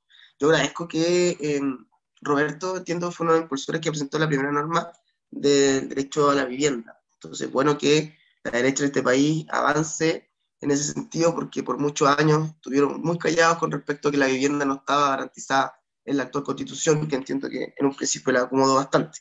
Así que bueno que estamos avanzando en conjunto en ese sentido. Pero esta norma no se limita solamente a vivienda, como estaban recién señalando las expositoras, es más amplio, habla de bioconstrucción probablemente tal. Y la construcción clásica contemporánea, como la entendemos, es una de las que más contamina hoy, hoy en día. No olvidar, y es muy importante, que esta convención constitucional se declaró en un estado de emergencia climática. Por lo tanto, esa declaración no es letra muerta. Esa declaración quiere decir que todo el texto constitucional está entrelazado transversalmente por un cariz que tiene que responder a esa declaración de eh, estado de crisis climática como se hizo al principio de la convención. Por tanto, esta norma no es una norma prohibitiva, no quiere abolir la forma actual en la que se construye, sino que quiere darle espacio y posibilidad al resto de las personas esta opción de bioconstrucción para que puedan acceder a, a ellas propiamente tal. Sabemos que estamos en una etapa muy larvada del desarrollo eh, social en este sentido y ecológico en este sentido, y que no se podría prohibir eh, básicamente actualmente la forma como la, la, que se construye. ¿Ya? Por lo tanto, avanza en dar esa posibilidad y ese escenario al resto de, de las personas. Eh, yo creo que sí tiene que ser materia constitucional y no tiene que estar dejado solamente al relegado a que sea desarrollado por ley. Recordemos cuando ocurrieron los incendios de Santa Olga en Constitución, se tuvo que acceder a un presupuesto interministerial para poder solventar la reconstrucción y como no estaba dentro de, no, como no estaba dentro de la constitución, no había una cápita presupuestario que pudiera solventar, dicho sea de paso, esa reconstrucción. Em, por lo tanto, creemos que eh, la norma avanza y está en este sentido realmente conectada con la declaración de, de crisis climática que se hizo al principio de la convención. Eso. Gracias. Gracias, Nico. Em, vamos con Carolina Sepúlveda en esta segunda ronda de preguntas. Primero agradeciendo la norma, de la cual también soy patrocinante. Y escuchando todas las preguntas que se hicieron en la primera ronda, creo que el punto acá está es que la norma dice que el Estado reconoce y garantiza el derecho a vivienda digna y ecológica. Y el hecho de garantizar, ¿no es cierto?, esta vivienda, estableciendo que todas las viviendas tengan estas condiciones, y ahí veo porque algunos de mis compañeros están como un poco reacios a garantía que sean todas. Ahí quiero preguntar si sería posible modificar a promoverá, ya que en el fondo al promover no está garantizando que todo, sino que el Estado está promoviendo este tipo de arquitectura y nos está obligando a que todas las casas que el Estado haga sean de ese tipo de infraestructura. Entendiendo, yo misma lo voy a decir, eh, una de las casas del campo de mis viejos tiene más de 100 años, una casa de adobe, que todavía se mantiene en pie a pesar del terremoto del 2000 y entonces estas casas tienen estructura. Bueno, la casa que había construido mi viejo junto a su abuelo sí se cayó en el 2010, lo que fue una pena, también una casa de adobe, que es una construcción, ¿no es cierto?, que mantiene esta técnica y cuando trabajé en Kipus, en la Universidad de Talca, también estaban probando tipos de bioconstrucción, pero con envases tetrapac, con paja y otras cosas que también pueden ser modernas, que se pueden ocupar como desecho en base de construcción, que cuando fuimos a Petorca, por Caro, también lo vimos con esta casa botella. Entonces, no sé si esta norma está limitando esta utilización de materiales nuevos, que son desechos que pueden ser hacia la construcción. Son, serían dos preguntas en sí. La primera es si puede cambiarse a promovera para que no haya este problema de rechazo. Y la segunda, si también está pensada en estos materiales de desecho actuales también puedan ser utilizados en este tipo de construcción. Gracias. Gracias, Caro. Vamos con Jorge Abarca. Gracias. Muy brevemente, agradecerles primero a Nicolás y a todo el equipo que desarrolló esta propuesta. Eh, no, estoy absolutamente de acuerdo, que tenemos que ir hacia ese, hacia ese origen, digamos. Eh, he tenido experiencias tratando de demoler una, una, casa de más de 80 años y la verdad que he transpirado bastante porque a pesar de que está, habíamos salido recién del, del, terremoto, el año, yo tengo ya mi edad, eh, el, año, el año 84, ¿cierto? 85, entonces ahí se notaba efectivamente que eran materiales que están absolutamente contemplada una larga vida, eh, entre comillas. Solamente me preocupa dos elementos. Uno, tenemos un déficit habitacional y entendiendo que esto significa, un proceso para quienes están escuchándonos en la casa, esto no es instantáneo, es un proceso. esta constitución está proponiendo procesos que van hacia una determinada eh, fin, que es, por ejemplo, tener una constitución ecológica, un, estado ecológico. Si esto es un proceso, ¿cómo avanzamos para que las técnicas sean suficientemente, eh, vayan a la velocidad de, la necesidad que hoy día tenemos? Tenemos, eh, eh, Nicolás hablaba de, 500, de más de 800 mil, yo tenía 500 mil viviendas en Chile y en esta región, en Arica y Parinacota hay más de 8 mil viviendas de déficit. El déficit es grande. Por lo tanto, tenemos una gran demanda y al mismo tiempo una necesidad de cambiar hacia a técnicas que son efectivamente mucho más amigables con la naturaleza. Eso es lo primero, cómo avanzamos en la técnica, cómo generamos esa, eh, que ese, esa diferencia se, se, estreche.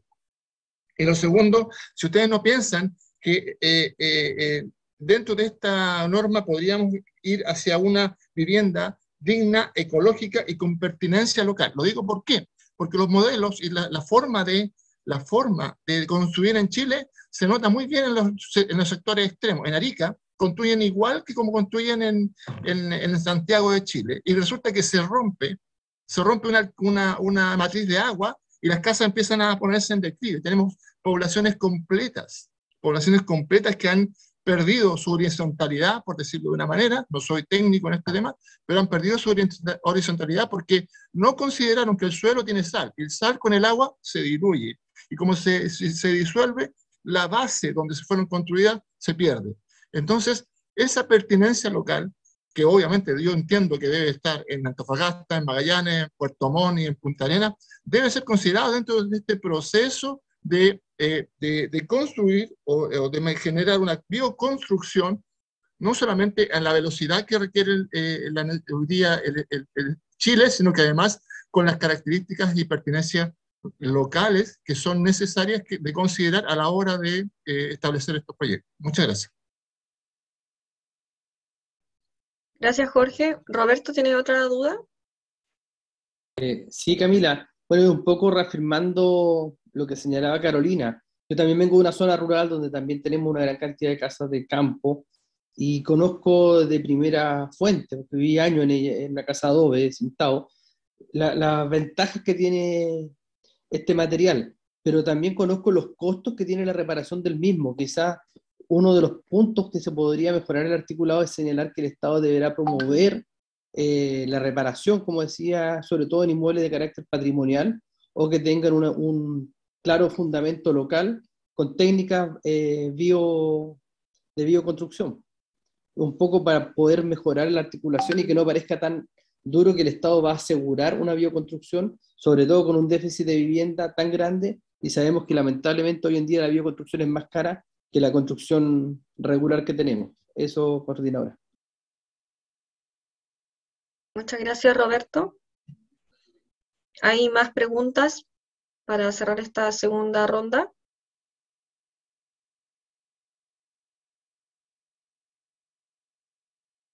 No habiendo más preguntas, vamos entonces a las respuestas. Nicolás. Ya, muy cortito para darle el paso a la, a la expositora. Eh, primero decir que las técnicas actuales de construcción, son, de bioconstrucción son diferentes. Las estructuras son de madera y cumplen ampliamente la normativa antisísmica porque también se tienen que ser aprobadas por la autoridad administrativa respectiva. Y el barro y la paja solo se utilizan eh, como aislante o cobertura, no es una materia estructural, ¿ya? Como para, dejar bien en claro eso que cumple con la normativa actual una casa que puede ser construida con la forma clásica o la forma de bioconstrucción probablemente tal. Una de las discusiones que tuvimos también con las agrupaciones con respecto a si el Estado garantiza o debe, debe generar un contexto propicio y dar la opción de promover, ¿cierto? Y dijimos, bueno, no lo restringamos nosotros, hagamos la presentación y si aparece dentro de la, de la discusión, se puede hacer efectivamente, efectivamente esa indicación, como lo señalaba muy bien la Caro Sepúlveda eh, recién. Con respecto a lo que dice eh, Abarca, la norma señala textualmente que tiene pertinencia territorial e indígena. Por lo tanto, nosotros también estamos preocupados de que la forma de construir responda también a las necesidades y urgencias de cada uno de los territorios. Sin mayor palabras, doy el paso a las expositoras para que complementen o respondan el resto de las preguntas. Adelante, Bárbara Catalina. Bueno, con respecto a las preguntas que se han formulado, eh, se nota que es necesario difundir la bioconstrucción porque seguimos enmarcándonos en sistemas que, en pocos sistemas conocidos. Y la visibilización y la difusión de nuestros sistemas van a hacer que las personas opten por ello y puedan decidir por ello. Tenemos sistemas constructivos que se basan principalmente en el uso de fardos de paja. Eh, Chile es uno tiene como producción eh, mayoritaria en la zona central la producción de trigo. Y los fardos de paja son un residuo agrícola que en este momento no tienen un fin eh, que esté definido. Se desarrollan recolecciones de los fardos y se utilizan a nivel agrícola en baja eh, con baja capacidad de uso no constituyen un elemento que sea nutritivo para el forraje de animales, por lo tanto eh, es un desecho en la actualidad y nosotros lo estamos reutilizando y colocando en viviendas para cumplir fehacientemente con las condiciones de confort térmico bajo eh, niveles superiores a cualquier material constructivo que haya en la actualidad. Existen experiencias internacionales exitosas donde se demuestra a través de ensayos de laboratorio el confort térmico, acústico y la resistencia al fuego de viviendas construidas con fardos de paja. Por ejemplo, el ensayo al fuego que se hizo a muros construidos con fardos de paja supera los 160 minutos de resistencia al fuego, eh, indicador que no tiene ningún otro material existente en el mercado actualmente. Por lo tanto, tenemos ensayos y experiencias eh, internacionales que avalan las características de las técnicas que queremos incorporar en esta norma. Eh, países como Francia, Alemania, Austria, Bélgica, Hungría y muchos otros han establecido normativa técnica para la autoconstrucción de viviendas eh, con materiales naturales que permiten ir en apoyo del déficit de viviendas a nivel nacional. La correcta asesoría técnica para la que las personas autoconstruyan va a ir en apoyo de que existan soluciones habitacionales que se adapten a los territorios y que puedan ayudar a las personas a conseguir sus viviendas sin eh, toda la, eh, la problemática que pone el Estado para acceder a una vivienda.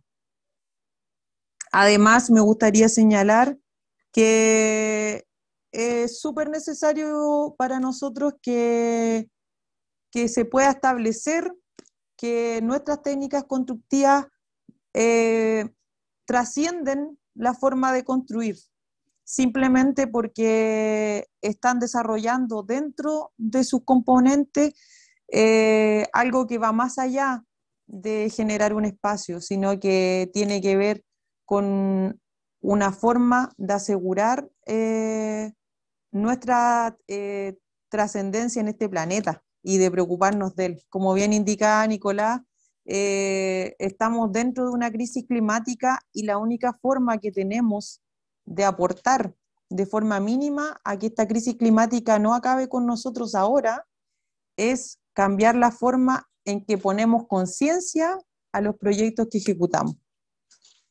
Cata, no sé si quieres aportar algo tú. Eh, sí, bueno, eh, decir también esto que, hablaba Bárbara, de que en el fondo técnicas en bioconstrucción hay muchas, el adobe es solamente una de ellas. Eh, se tiende a decirle adobe a otras técnicas que tienen otros nombres y que responden a distintas necesidades. En el fondo, hay muchos tipos de técnicas que son sismoresistentes. hay, hay, técnicas que sirven más para el sur, para el norte, y eso se ve mucho en el patrimonio constructivo que tienen esos lugares. Entonces tiene pertinencia, pero también tiene un rescate de lo que es una cultura que es parte de nuestro país y que se ha ido perdiendo, por un lado. Y por otro lado, como respondiendo un poco a esto de cómo, em, como esto de que es un proceso en el fondo, cómo se pueden ir incorporando, existen también técnicas que son técnicas de mejoramiento de construcciones que son convencionales, mejoramiento térmico o que pueden, por ejemplo, eh, aportar a una media agua que no tiene una condición de, eh, óptima para vivir y con, con, técnicas de bioconstrucción se pueden mejorar esas condiciones.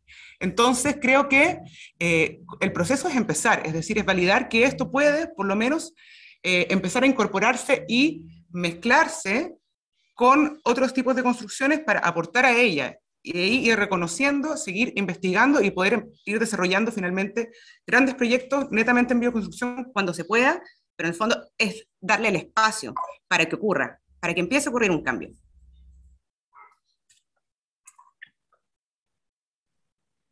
Muchas gracias, Catalina. Roberto, ¿tienes otra consulta? La coordinadora se me quedó arriba de la mano, disculpo, la bajo inmediatamente. Muchas gracias. Si es que no hay más consultas, pasaríamos a la deliberación.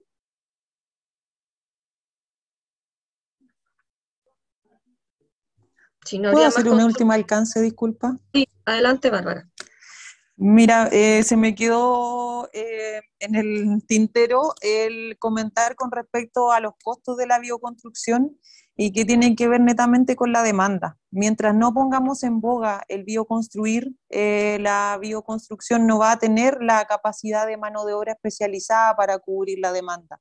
Por lo tanto, habrá un sobrecosto de la construcción y también se fortalecerá la autoconstrucción, porque en definitiva las personas que saben y fomentan estos sistemas constructivos es porque están conscientes del impacto que provocan sus construcciones y porque quieren hacer un cambio real eh, en la forma de vivir.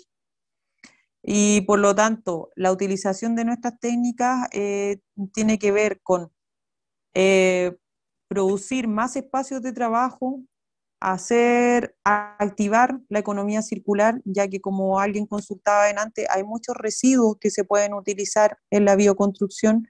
Actualmente en el mercado existen aislantes naturales que ya se están vendiendo, que son en base a lana de oveja, a raíces de plantas, a ropa usada, etcétera. Por lo tanto, existen muchas alternativas, pero necesitamos que se visibilicen. Y para eso estamos aquí. Así que muchas gracias. Muchas gracias, Bárbara. Em, aprovechamos entonces de nuevamente eh, darle un aplauso a Bárbara, a Catalina y a Nicolás por la presentación y por la respuesta a las preguntas. Un aplauso virtual, que también se puede poner, podemos abrir los micrófonos y hacer un aplauso no tan virtual, ¿cierto? muchísimas, muchísimas gracias por esa presentación. Ahora, si quieren, se quedan o si quieren, se retiran, porque vamos a pasar a la deliberación de las y los constituyentes de la comisión. Vamos a comenzar por Jorge Abarca. Gracias, señora coordinadora.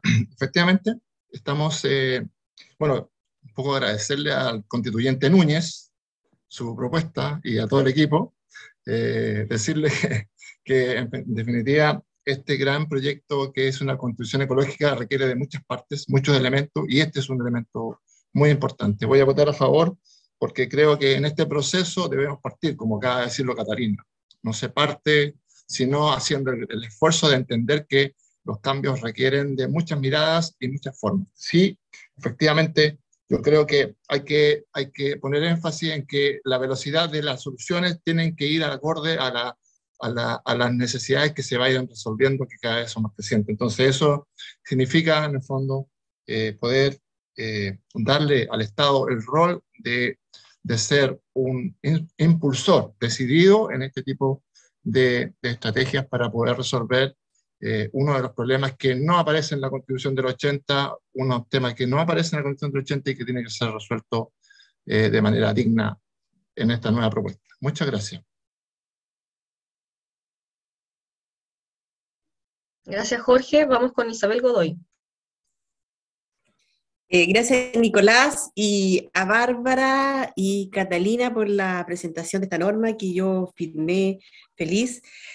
Bueno, eh, yo nací en un quincho de barro donde miraba al cielo y luego mis padres construyeron una casa de adobe que, donde me crié y que hasta el día de hoy ha soportado muchos terremotos y sigue en pie.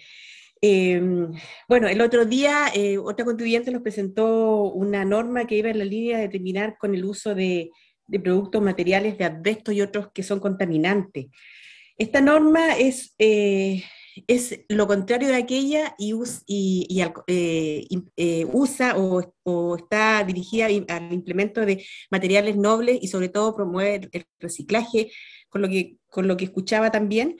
Por lo tanto, la voy a aprobar no solamente por haberla patrocinado, sino que por la excelente, eh, la excelente participación Y también me gustaría que ojalá pudiéramos avanzar en, que el Estado pudiera crear subsidios eh, para la implementación de este tipo de, de, construcción noble y tan necesaria y que irían en sintonía con lo que aprobamos delante con los derechos de la madre naturaleza.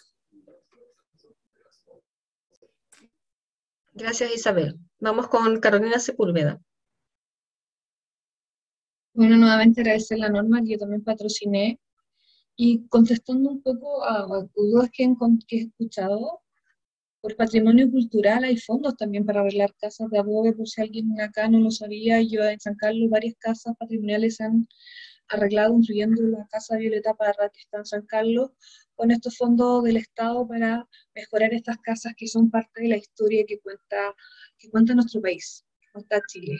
Creo que un buen inicio, creo que la norma es bastante perfectible, por lo tanto invito a patrocinarlo, porque lo que está haciendo es que pensemos en construcciones que vayan en armonía con la naturaleza, entendiendo de que en ese sentido está en esta comisión porque muchos acá hablaron que quizás debería estar en derechos fundamentales por la vivienda. No estamos en este fondo garantizando la vivienda, lo que está garantizando es que habitemos en armonía con la naturaleza y en esos lugares que pensemos en construir, que estemos en la naturaleza, no vamos a cortar un, roble de 100 años por poner ahí la casa, sino que veamos la forma de que esta construcción converse con lo que está a nuestro alrededor. Y creo que eso es sumamente importante en la línea de ir cuidando la naturaleza y el medio ambiente y fusionarnos con ella y no ser un invasor de la naturaleza.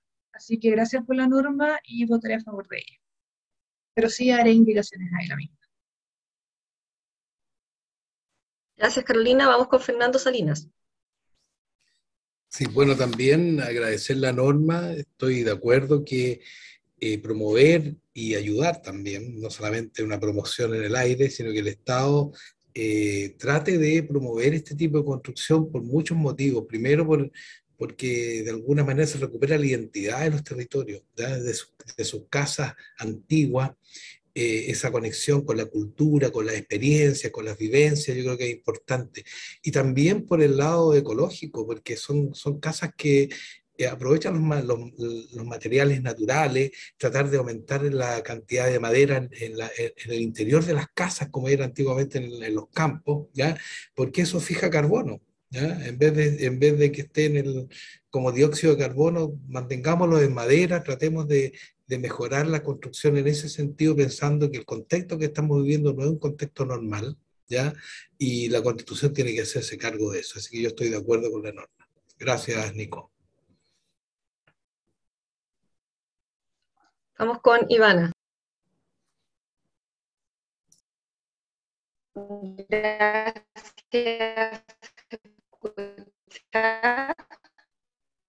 Hola, ¿me escuchan? Ahora sí. Ya, gracias. Em, bueno, saludarles y por supuesto también eh, agradecer la exposición de la norma. También eh, soy patrocinante y me sumo también a todos los argumentos que se han dado con anterioridad.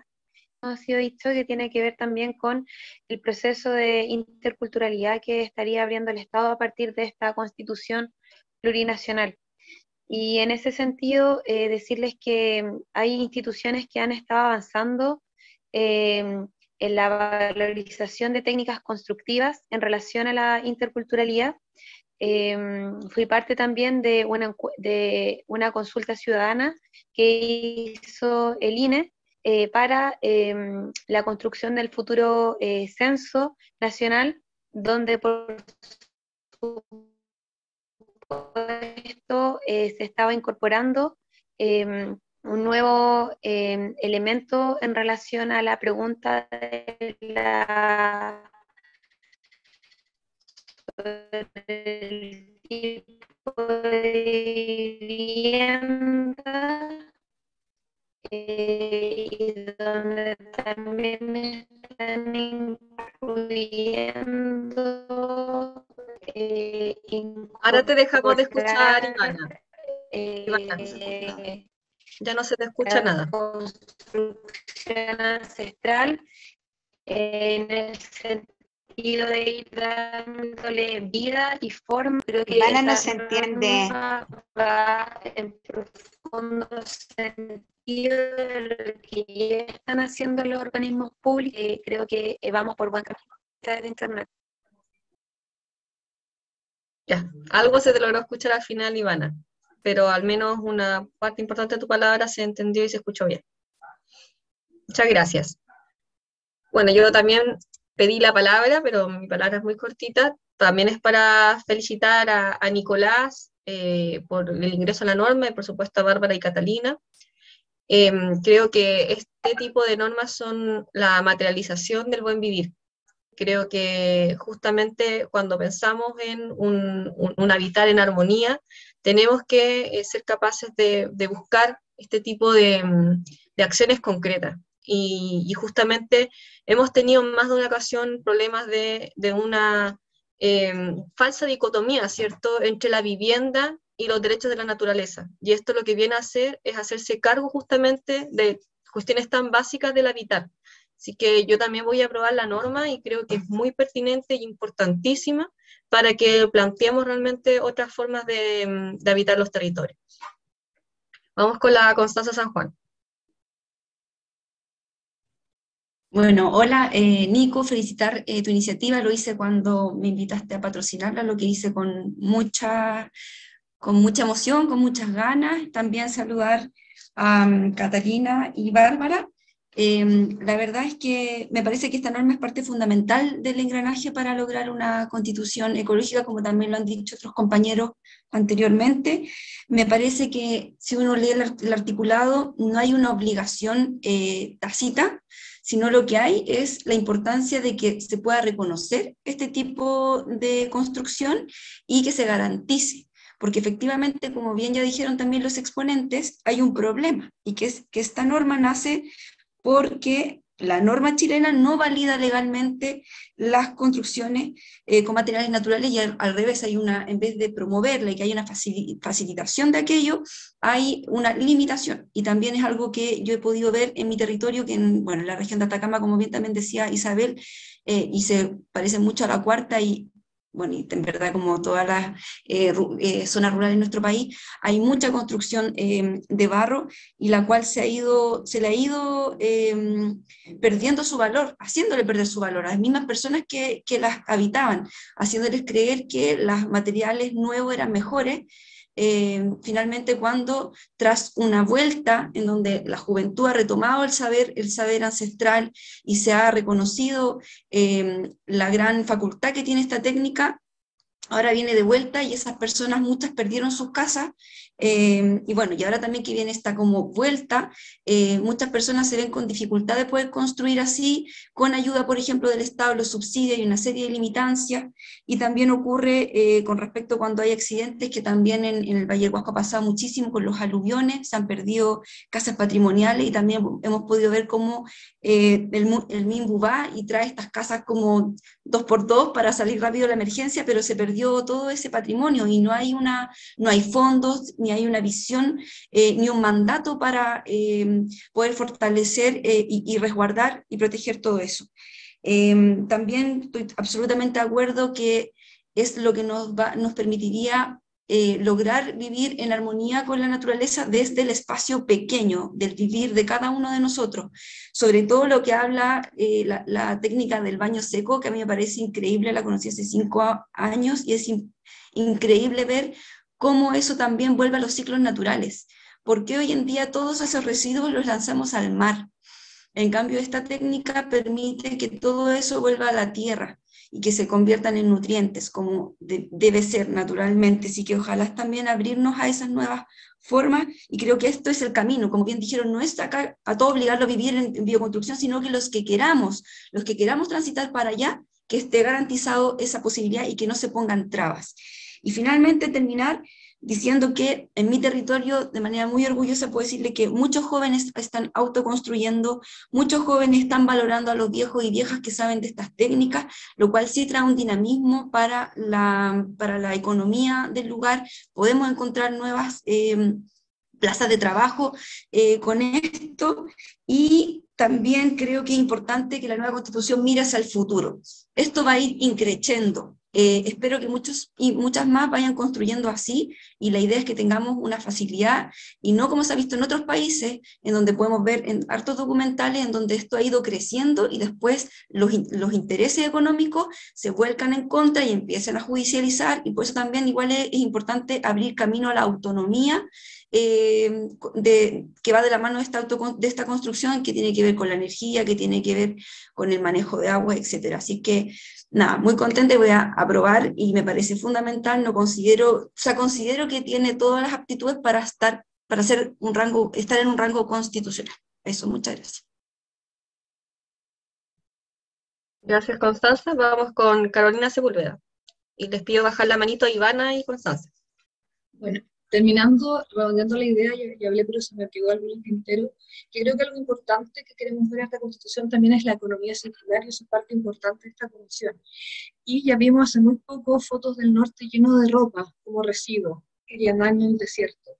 Y si tuviéramos norma constitucionalmente, habría una forma que esa ropa fuera a mar aislante. También vemos la gran cantidad de botellas plásticas tiradas. O sea, estaríamos promocionando una economía circular hacia la vivienda y hacia, por lo tanto, ocupar esos desechos de manera de aumentar la cantidad de casas y este gran déficit que nos contaminado. Entonces, tiendo a entender que esta norma tiene un gran sentido, tanto medioambientalista como un proceso y apoyar una economía circular que creo que es una economía que va a marcar la diferencia de aquí a los próximos 20, 30 años Así que nuevamente agradezco la norma y sigo diciendo que votaré a favor de ella. Gracias, Carolina. No veo más manitos levantadas. No sé si alguien más quiera ser parte de la deliberación con algún comentario.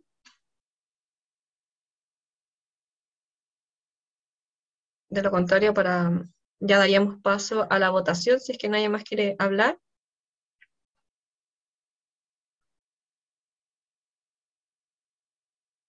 Entonces, adelante con la votación, señor secretario.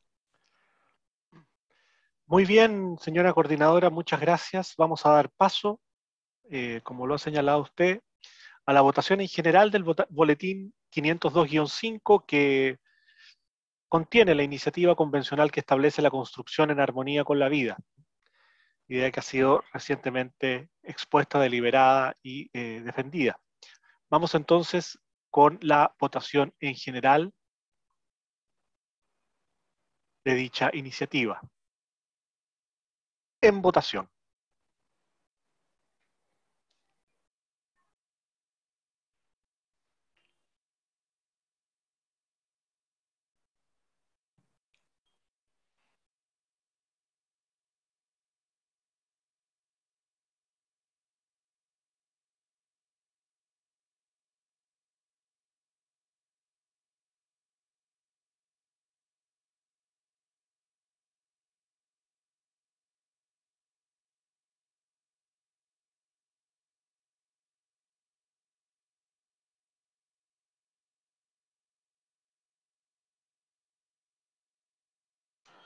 Han votado, han votado todas las y los señores convencionales, la señora Carolina Vilches, la señora Bessie Gallardo,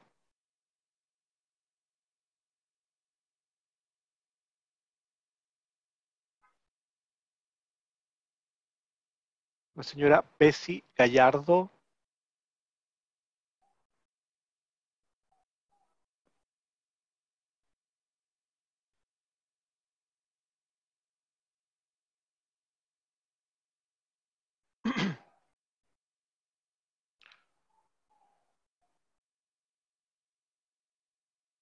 Muy bien. Finalizada la votación.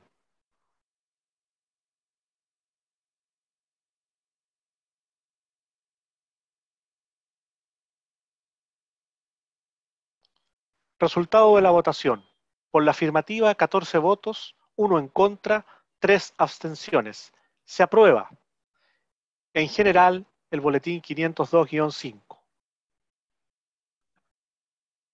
Muchísimas gracias, señor secretario, y felicidades a los proponentes de la norma, también a las compañeras que vinieron a exponer. Nuevamente un fuerte aplauso o Unas felicitaciones con estos aplausos virtuales. Mm. Ahora entonces vamos con la siguiente norma. esta es la iniciativa establece una protección constitucional a los animales. Fue presentada por Guillermo Namor, Constanza Stronghold, Maluca Pinto, Carolina Sepúlveda, Daniel Bravo, Gaspar Domínguez, Renato Garín, Francisco Camaño, Mariela Cerey, Ingrid Villena, Ignacia Churra y Francisca Arauna. Quienes van a presentar la norma ya se encuentran presentes serían Francisca Arauna, que también viene acompañada por Javiera de la agrupación que también colaboró en la norma. Adelante a nuestra constituyente Francisca Arauna. Hola, ¿me escuchan bien? Sí, te escuchas bien. Recuerden que tienen 10 minutos para presentar. Entre, eh, eh, bueno, todas las personas que quieran presentar en total tienen 10 minutos. Cuando les queden dos minutos les vamos a dar un aviso. Ya, muchas gracias. ¿Cami podrá habilitar a Javiera eh, para que pueda compartir pantalla, por favor? Sí, creo que están todas habilitadas. Ya. Ah, también está Marisabel. Sí. Muy bienvenidas, Javiera, Marisabel, Francisca. Chicas, eh, bueno, primero saludar a todos y todas, muy contenta de estar acá en esta comisión, es una comisión que, siempre da que hablar, ¿verdad? Así que estoy contenta de, estar acá. Em, junto a la agrupación es muy importante señalar que esta norma la vamos a presentar eh, junto a la agrupación, es un trabajo en conjunto y quiero resaltar que yo en particular vengo del distrito 18, un distrito rural, un distrito donde se ha hablado mucho de las tradiciones de todo lo que se hace acá. Y esto es una norma conversada con varias agrupaciones que defienden mucho las tradiciones y están muy de acuerdo con la forma en la que nosotros hemos planteado esta norma. Para tranquilidad de muchos y muchas, esta norma conversa con las tradiciones, pero deja fuera la crueldad que se ejerce sobre los animales. Así que pasemos a presentarla. Yo voy a leer el articulado y después mis compañeras acá van a, desglosar el articulado parte por parte. Dale, no sé si la Javi o la Marisabel van a compartir ahí. Eh, hola, muy buenos días. A ver si se comparte la pantalla para que puedan ver la norma. ¿Me confirma, Camila, si es que hay? Bueno, esta es una norma que... Ahora hay que... Falta que, quede em, con pantalla completa.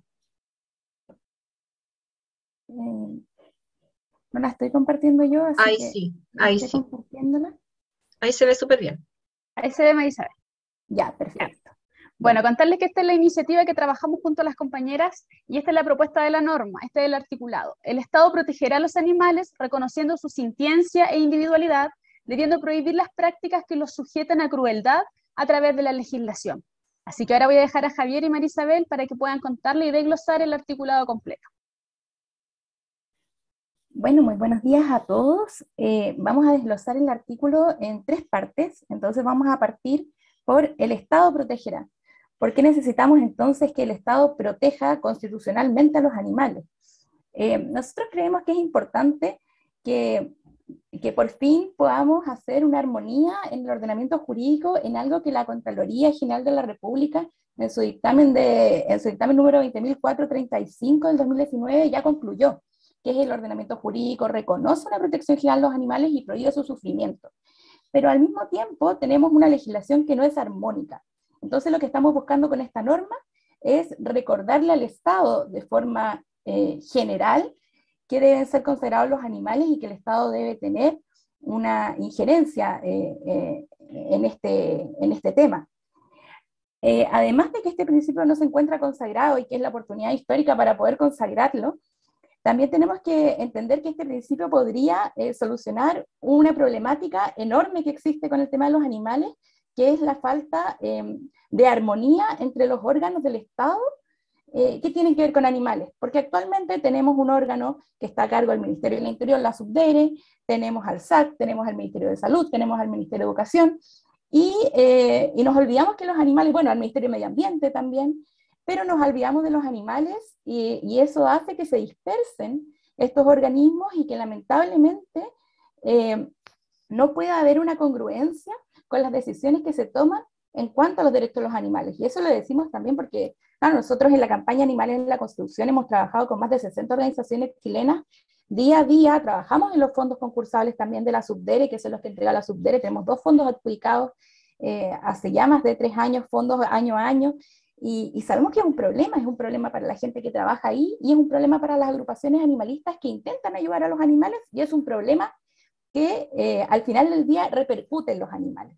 Entonces, el Estado, que el Estado proteja a los animales, tiene eh, esta importante relevancia. Algún articulado que no incluya la protección, eh, este deber estatal hacia los animales, podríamos pensar que es un articulado incompleto. Doy paso a Javiera para que hable sobre la segunda parte de la norma. Muy buenos días a todos. Eh, bueno, la segunda parte de este articulado hace referencia a reconocer la sintiencia e individualidad de los animales, que son dos elementos que son fundamentales para una protección efectiva de los mismos. al respecto, y primero respecto de la individualidad de los animales, eh, este artículo reconoce la importancia de cada individuo en particular y se hace cargo de problemas que eh, nuestra sociedad acarrea hace muchísimos años, tal como el problema de los perros asilvestrados. Eh, sabemos que este problema no es de simple solución, pero creemos que carece de sentido consagrar los derechos de los animales sin prever una, una solución sin un prisma ético. a su vez, respecto de la sintiencia, este artículo, explicita que los animales son seres sintientes y modificar el orgánico acorde a la visión que la sociedad ha ido desarrollando eh, respecto de ellos, deja el estatuto jurídico de los animales abierto como materia legal, es decir, no establece un estatuto, lo cual permite amplitud para legislar y no limita a los animales al régimen jurídico actual que tienen, que es el de objetos de derecho. Eh, bueno, por último, Marisabel se refería al tercer eh, elemento. Bueno, y como por tercer elemento de esta norma es debiendo prohibir las prácticas que lo sujeten a crueldad a través de la legislación.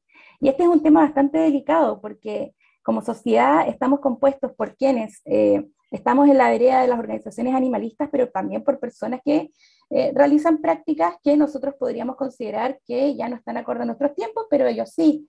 Entonces ahí hay que saber respetar eh, las distintas visiones y aquí vemos cómo, cómo podemos armonizar esto, ¿cierto? Cómo podemos hacer una constitución que sea para todos algo eh, que tenga sentido y al mismo tiempo tener como principio rector la protección de los animales, entendiendo que son seres sintientes. Porque acá, obviamente, eh, nadie puede negar que alguien considere que una práctica le es propia o para esa persona es una costumbre, una tradición, nosotros podemos considerar que no, pero eh, esa práctica, esas personas siguen existiendo y esta, esta situación sigue existiendo. Pero lo que no podemos olvidarnos es que los animales eh, pueden estar sufriendo eh, en ese intertanto. Y eso es el espacio que nosotros creemos que hay que limitar. Entonces, actualmente existe esta problemática. ¿Cuál es? Que existe una ley, que es la ley 20.380, que es la ley de protección de los animales, que tiene un articulado que es el articulado número 16. El artículo 16 de la Ley de Protección de los Animales lo que hace es exceptuar a los deportes em, eh, en que se utilizan animales del maltrato animal. Del maltrato animal, maltrato animal que está contenido en nuestro Código Penal, artículo 291 bis y ter. ¿Cierto? Entonces nosotros decimos por qué existe este artículo que es el maltrato animal, pero vamos a exceptuar a un nicho tan específico de la población que no estamos desconociendo que existe, ¿cierto? Pero que tiene que armonizarse con los derechos de los animales y con el no sufrimiento a los animales. Entonces, ¿cómo vamos avanzando en estas prácticas que para la gente son valiosas, teniendo en consideración un principio rector que es fundamental, que es el no maltrato, ni sufrimiento, ni crueldad hacia los animales? Entonces, lo que tenemos que hacer, que tenemos que partir como sociedad, es igualando un poco la cancha, ¿cierto? No haciendo excepciones a ciertos grupos privilegiados, y entender que el maltrato o crueldad con los animales se aplica en todos los casos y no exceptuando eh, legalmente algunos casos de algunos mitos en particular. Entonces, para nosotros nos parece importante establecer a nivel constitucional para que en el futuro la ley no pueda hacer estas distinciones entre nichos de cualquier tipo que puedan ejercer eh, prácticas crueles contra los animales.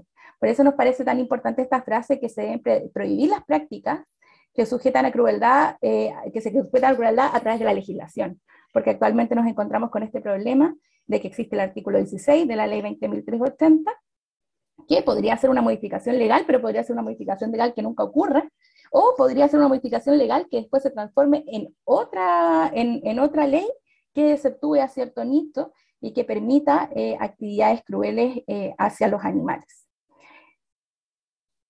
Ahora Javier les va a hablar eh, de cuál sería entonces la mejor forma desde nuestro punto de vista de incluir a los animales y entendiendo que hay más de una norma actualmente, em, ¿por qué esta norma se podría diferenciar del resto? Bueno, eh, efectivamente, como señaló Marisabel, sabemos que hay más de una norma que busca incorporar a los animales en la nueva constitución y ante ello queremos resaltar las principales diferencias de este articulado en relación con otros que hemos estudiado en la materia. Eh, el primero y un elemento muy relevante es que este articulado no realiza una diferenciación entre especies, no privilegia una especie eh, por sobre otra, y el único elemento relevante que señala es la sintiencia de los mismos. Entonces, eh, los animales, ¿por qué son importantes? Porque son capaces de sentir y no en función, no son importantes en función de su raza, en función de su tamaño, en función de la utilidad que le hayamos dado. Eh, al contrario, creemos que establecer estos elementos como relevantes a la hora de, proteger a los animales, en verdad eh, es una diferencia arbitraria y que no deberíamos considerar en la nueva constitución. A su vez, otra, eh, otra característica eh, comparativa que vemos de este artículo en comparación con otros es que no limita a los animales al régimen jurídico de objetos de derecho, que es el que tienen actualmente. Y así no mantenemos una categoría que actualmente es problemática, que no se atiene a la realidad de lo que son los animales y que tampoco coincide con la visión que la sociedad tiene los mismos y el rol que los animales tienen eh, dentro de la sociedad. Es decir, en el día de hoy, eh, si uno pregunta a las personas, los animales no son vistos como objetos. Eh, por el contrario, se está avanzando en reconocerlos como parte de la familia y tomando un rol cada vez más importante en ese sentido. También la sociedad está reconociendo cada vez más su sintiencia y, por ejemplo, manifestándose en, en, contra de prácticas como los circos que utilizan animales, en contra de los zoológicos, etc. Y esto entonces em, pone un énfasis en la individualidad de los mismos. Por último, también establece un deber estatal, es decir, este artículo no em, permite que eh, la prohibición de la crueldad contra los animales quede como mera poesía jurídica, que sea letra muerta, sino que insta al Estado a tomar acciones concretas en beneficio de los mismos. Entonces realiza una diferencia práctica eh, en cuanto a, en comparación a nuestra situación actual. Eh, y bueno, dicho esto, em, termina nuestra presentación en defensa de la norma que establece una protección constitucional a los animales. Muchas gracias. Muchísimas gracias a ustedes, Francisca, Marisabel, Javiera, por la presentación. Le damos un aplauso virtual. Muchas, muchas gracias. no sé si es la o el Michi de la Francisca también está muy feliz por la norma. Vamos entonces con las preguntas de las y los constituyentes. Rodrigo Álvarez ya había levantado la mano. Vamos, Rodrigo. Gracias, Camila. Fran, muchas gracias. Muchas gracias, Javiera, Marisabel. Mi, mi pregunta y mi aproximación, para que tú tengas claro la mayor parte de las preguntas de esta comisión, es netamente jurídica. ¿ah? Porque finalmente estamos construyendo una norma que el día de mañana se va a interpretar, se va a aplicar por tribunales, se va a aplicar por el Congreso. Entonces, mi pregunta es netamente qué alcance, qué efecto final tiene jurídicamente hablando la sintiencia y la individualidad. ¿Me pueden precisar un poco más a, qué nos lleva eso? Desde el punto de vista jurídico, insisto, de una norma que va a ser interpretada por tribunales y aplicada por el legislador. Y, lo segundo, eh, también por esa misma interpretación, ¿a qué se refieren con prácticas? ¿Qué tipo de prácticas? Porque se refieren fundamentalmente, o han comentado sobre todo Marisabel, a prácticas más relacionadas con la cultura, como yo entiendo es el rodeo para, en, la expresión que ustedes nos han dado, pero otro tipo de prácticas, tipos de práctica de ganadería o de lechería. ¿ah? ¿Cómo, ¿Cómo hacer esa distinción? Y creo que la mejor forma es que los autores la expliquen porque esa forma queda en la historia y queda como un elemento de interpretación futura. Gracias, Fran, gracias, Javiera, gracias, Marisabel. Gracias a ti, Rodrigo, por la pregunta. Vamos entonces con Trinidad Castillo. Gracias, Camila. Hola, Francisca. Gracias por la norma. Gracias a todos los demás exponentes que te acompañan. La verdad, eh, yo estoy feliz con la norma que ustedes hicieron bajo el punto de vista dentro de lo que en sí pero como dijo también Marisabel, te da amplitud para legalizar, encuentro una norma justo lo que debe ser, un ejemplo a seguir, simple, concisa, holística, fantástica. Ojalá pudiéramos todos imitar este contexto y forma de hacer normas. Sintetiza sin quitar esencia. Feliz, voy a aprobar muy contenta esta norma. Gracias a ustedes. Gracias, Trinidad. Vamos con Gloria Alvarado. Hola, hola a las exponentes ahí. Eh, miren, quiero este, mm, solamente eh, señalar que sería súper importante que se pudiese agregar el concepto de bienestar animal, ¿ya? En, el entendido de que la crianza y engorda industrial de animales es difícil que desaparezca de un día para otro. Y en ese ámbito habría que prevenir las prácticas crueles de hacinamiento, de corrales de engorda, de crueldad, etc. Yo creo que eso se podría agregar ahí. Ah, y otra cosita que repite la palabra proteger en, en dos líneas.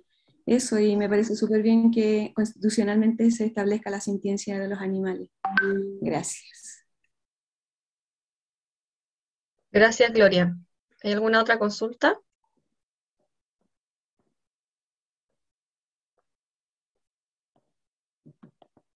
Carolina Sepúlveda. Bueno, agradecer a Francisca la exposición y a Derecho y Defensa de los Animales por la norma de la cual yo también patrociné y firmé.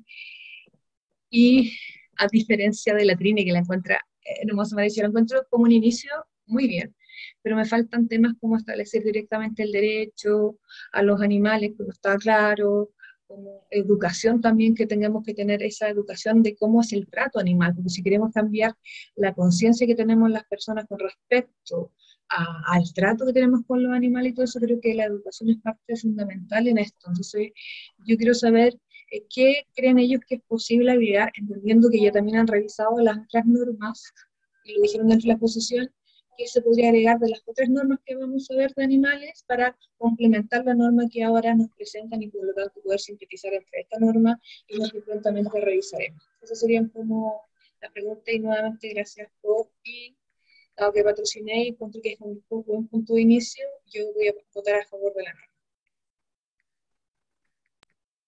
Gracias, Carolina. Recordar que ahora es, preguntas, después deliberamos y, y hablamos de la votación en sí. ¿Hay alguna otra pregunta a las expositoras?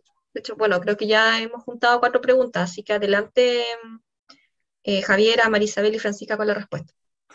Bueno, con respecto a la pregunta de Rodrigo sobre sintiencia e individualidad y cuáles son estos efectos jurídicos, la sintiencia más bien eh, es un impacto social, más, más, que un, más que un impacto jurídico. Eh, las normas de animales que actualmente hablan de ser sintiente o ser sensible, que es lo que se utiliza en el resto del mundo, siempre tienen un impacto más bien social. Ese impacto social no hay que subestimarlo tanto porque, em, porque una palabra puede modificar mucho las costumbres de las personas o la forma en que la gente eh, eh, capta cómo se siente representado por, por, por, por, sus instituciones o por la constitución.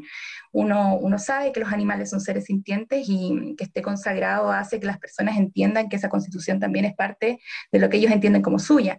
Entonces, pese a que el efecto jurídico de decir que un animal es sintiente no es tan grande, porque en la práctica eh, ninguna ley podría cambiar el hecho práctico de que los animales sí son sintientes, que es algo que vivimos en el día a día, establecerlo constitucionalmente eh, es bastante importante en cuanto a este impacto a este impacto en las personas y eh, en reconocer una realidad que no está reconocida y en que estamos al debe con el resto del mundo. Ya más de 60 constituciones lo reconocen y nosotros estamos un poco atrasados en eso. Em, sobre la individualidad, ahí hay un poco más jurídico de, de, qué hablar. Es importante hablar de individualidad por un problema práctico que se da eh, y que llevamos nosotros como organizaciones animalistas ligadas a lo jurídico arrastrando hace casi 10 años, que es, por ejemplo, el caso más complejo y peliagudo, eh, el, el, caso de los perros eh, llamados asilvestrados. Asilvestrado es un término que no es jurídico, pero es un término que, que se utiliza bastante para hablar sobre estas jaurías de perros em, que atacan personas, por ejemplo, que atacan ganado, que atacan otros animales. Esta es una realidad, y una realidad que no por ser nosotros animalistas tenemos que desconocer.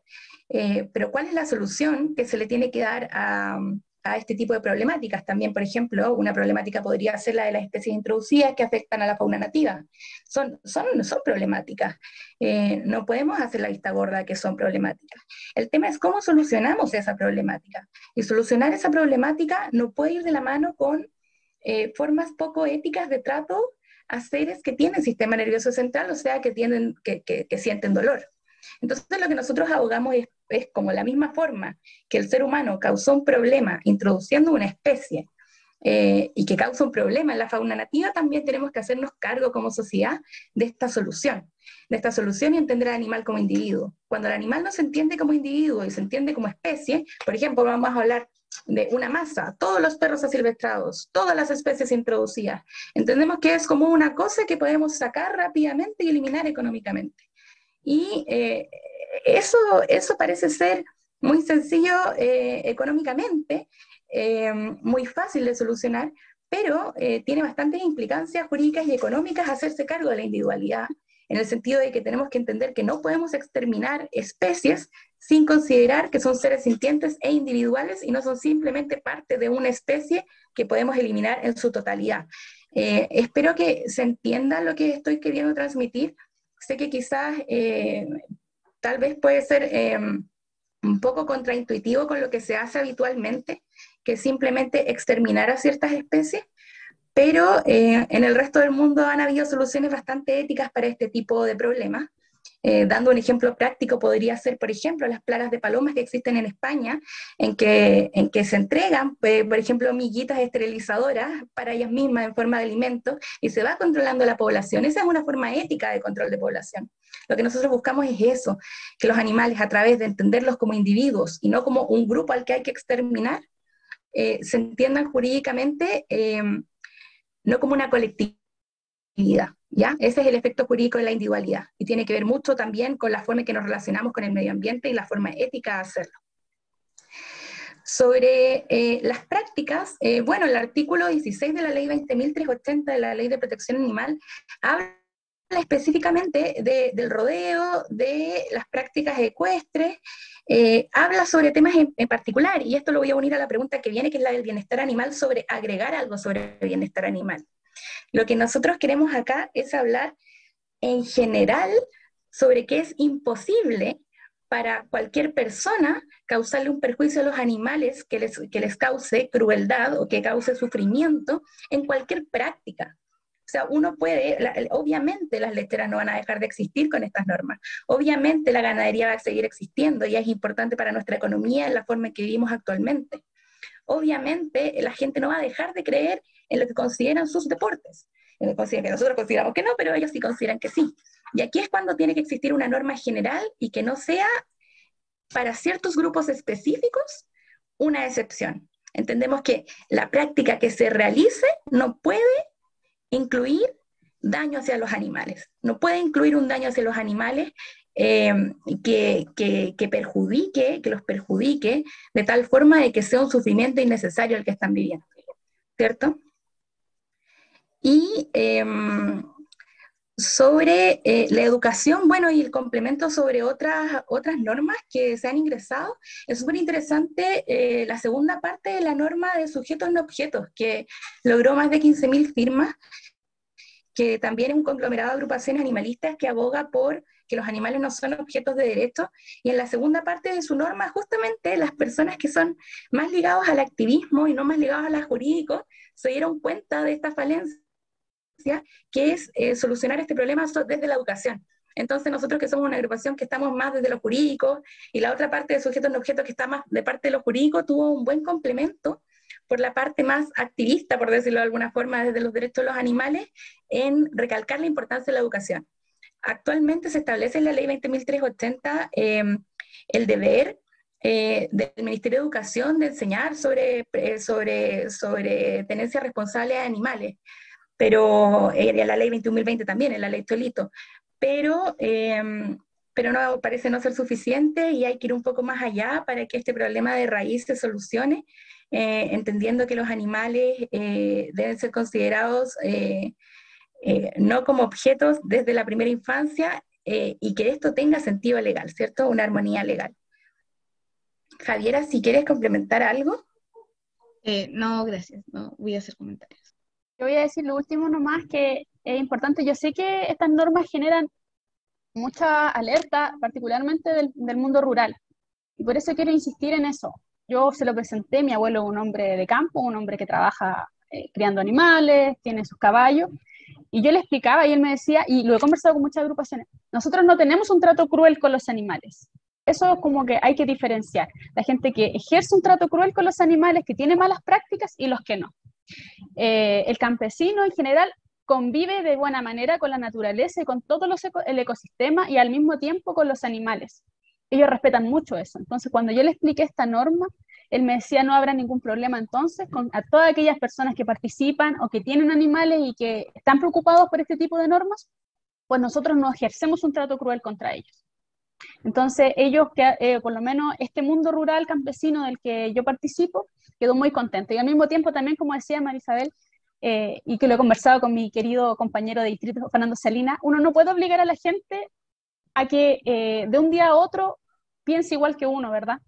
De que hay tratos crueles, no puede obligarlos a, a, pensar, ¿no es cierto?, que, o, a tener normas mucho más estrictas en este sentido. Por lo, por lo tanto, esta norma viene a conversar y, hacerse cargo también de, como dice mucho eh, aquí cierto compañero, la casa de todos, digamos que viene a conversar mucho de muchas personas que, protegen a los animales y lo que les preocupa es que no esté, estén exentos de crueldad, pero como decía la Caro, es un primer paso, ¿verdad? Hay muchas otras normas que tienen que venir a complementar esto y eso es lo que nosotros también estamos esperando, pero esperamos que esta primera norma, que en realidad es una construcción de derecho y defensa animal, venga también a estar eh, y, a satisfacer a ustedes lo que ustedes, yo creo que nadie está de acuerdo con la crueldad contra los animales, así que eso, eso por mi parte. Muchas gracias por las respuestas. Vamos con la segunda ronda de preguntas. Roberto Vega tiene una pregunta. Muchas gracias, Camila. Eh, derechamente, ¿esta norma permite o prohíbe el rodeo? Eso es algo que me están consultando por los chats. ¿Respondo al tiro o hay otra pregunta más? Vamos a ver si hay más preguntas. Ya. ¿Hay alguna otra consulta de las y los constituyentes? Si no, este ya sería la, la última ronda de preguntas-respuestas y pasaríamos a la deliberación.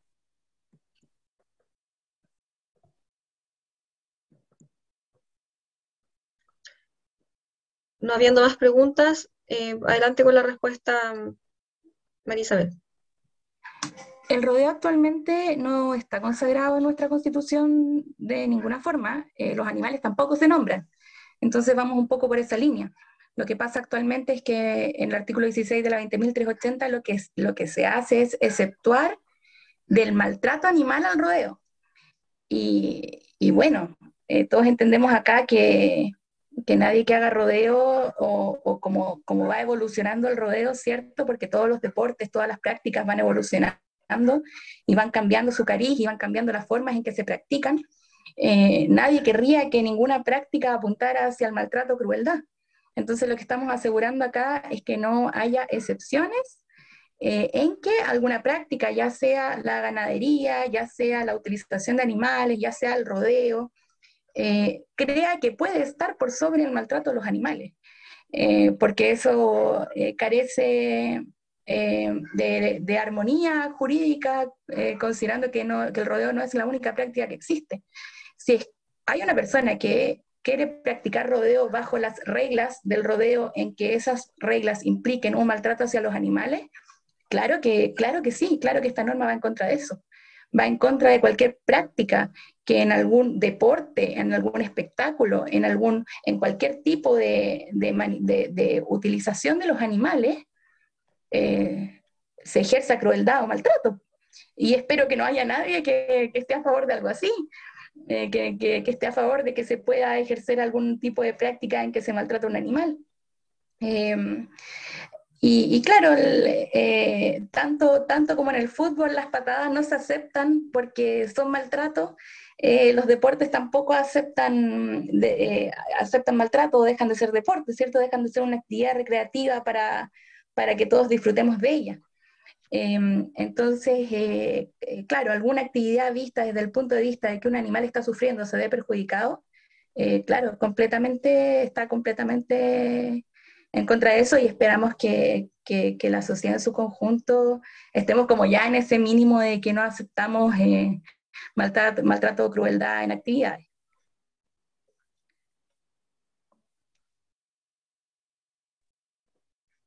Javiera, ¿quieres complementar? Porque ya estaríamos en las últimas, las últimas palabras antes de, de la deliberación. No sé si quieren dar algún mensaje para cerrar.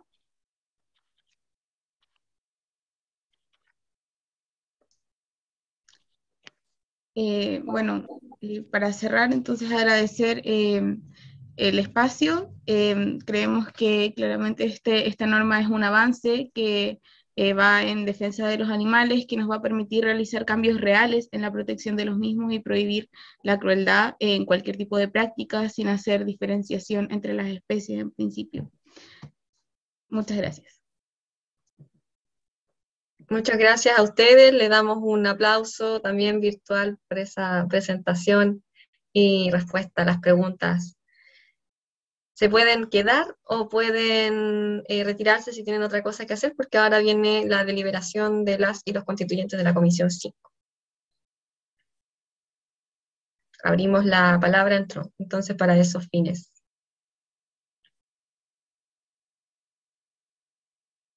Fernando Salinas.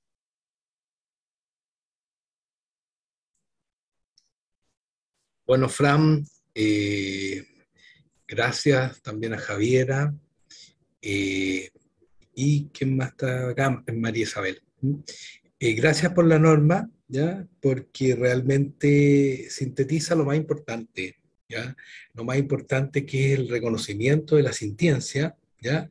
y hacerse cargo de ella, porque ha habido muchas normas que, se, reconocen la sintiencia, porque ya no se puede discutir desde el acuerdo de Cambridge, ya hace como, vamos, casi los 10 años, se reconoce, digamos, la sintiencia a nivel científico, digamos, de, de los animales. ¿Ya?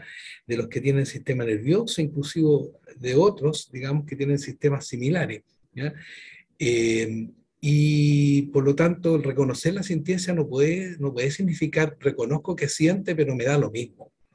Entonces, aquí hay un tema ético, obviamente. ¿ya? Y eh, entiendo también que todos son procesos, ¿ya? procesos que tenemos que ir evolucionando. Eh, el tema de la producción, por ejemplo, la producción de, carne, de leche, eh, no es que vaya a eliminarse, pero la forma en que se tratan a los animales en, en, en esos sistemas de producción tienen que cambiar. ¿ya? Tienen que cambiar la manera en que vemos a, a, los animales en general ya tiene que cambiar y este es un proceso, un proceso y yo creo que la norma tiene esa, esa característica de que establece un marco, un punto de partida, sintiencia, ¿ya? Y de, de la sintiencia inmediatamente tenemos que eh, sentir que tienen derechos, ¿ya? ciertos derechos ya de no, de no sufrir innecesariamente. Ahora, hay técnicas, yo la otra vez hablando con un ecólogo, me decía que incluso se ha calculado el tiempo, cuando haya que sacrificar un animal, cuál es el tiempo mínimo para que no sufra. ¿Por qué no vamos y nos eh, dirigimos a eso? ¿ya? A buscar el menor sufrimiento de los animales. ¿ya? Porque obviamente que hay situaciones que no podemos cambiar ahora, pero sí podemos cambiar eh, ciertas maneras en que abordamos la, la, producción, que ojalá se vaya disminuyendo en el tiempo, porque sabemos que eh, tenemos que tomar resoluciones muy, muy profundas respecto de cómo consumimos si queremos, digamos, mantener el equilibrio en nuestro planeta. Así que gracias, Fran, gracias, María Isabel, ¿ya? Y, y gracias, Javiera, por esta norma. Muchas gracias, Fernando. Vamos con la siguiente palabra.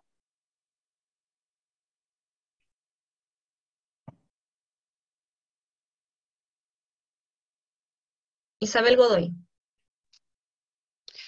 Eh, agradecer esta norma, eh, se han presentado otras también eh, y van a seguir llegando en normas en esta línea. hay mucha más conciencia ahora de, lo que son los, animales eh, en nuestras vidas. Eh, lo que sí la veo muy general, eh, no indica cómo se va a hacer la, o quién hará la obligatoriedad, cómo se llevará a cabo, cómo se va a ejecutar esta norma. En cuanto a, la preocupación por, los, por, los, por las personas que practican el rodeo, yo de verdad que no, no sé qué tiene de divertido em, ver que otro, otro ser esté sufriendo. Yo nunca, nunca he podido entender aquello, que, nos causa, que por qué los animales tienen que estar para la diversión nuestra. Y bueno, eh, en esta línea eh, también me gustaría decir que, mm, que se debe reconocer eh, los usos que también los pueblos originarios tienen, la relación que tenemos con los animales. Yo voy a insistir en que uno de los principios que tiene el, reglamento general, el principio de plurinacionalidad. nosotros no, el manejo que tienen los animales o la relación con los pueblos originarios eh, no, es un, no es una relación de, para diversión, sino que es solamente una relación de subsistencia y con mucho respeto. Eh, los consideramos seres sintientes y que son parte de, nuestro, de nuestra vida. Em, alimentarse de ello no es crueldad, eh, pero sí el deber nuestro es darle un trato digno en, su crianza y en, y en, y en la compañía que ellos tienen con nosotros. Eh, yo el otro día hablaba, yo decía, yo no puedo decir tengo tantos perros, sino que vivo con ellos, porque ellos eh, no los tengo para un, uso, para un uso para que ellos me cuiden o para, que, para tenerlos de guardianes acá, eh, sino que para que estén conmigo y para darle una vida digna y darles amor. Es la, es la, es la función que, tenemos que tener nosotros en relación con, con los animales. A lo mejor mucha gente se va a reír y me va a considerar que soy una loca eh, por hablar así con ellos. Ellos están todo el día conmigo. Acá tengo mi guagua que me acompaña siempre que estoy telemática. Eh, y, lo, y, los demás afuera, eh, mis hijos tienen esa relación especial con los animales. Yo, de verdad, yo no crío animales que sean para la alimentación porque no, no, no podría, eh, no podría matarlos. Eh, sé que mi pueblo sí cría animales y se alimenta de ellos, pero con esa relación especial eh, que a veces es fácil, es difícil, perdón, de, de comprender.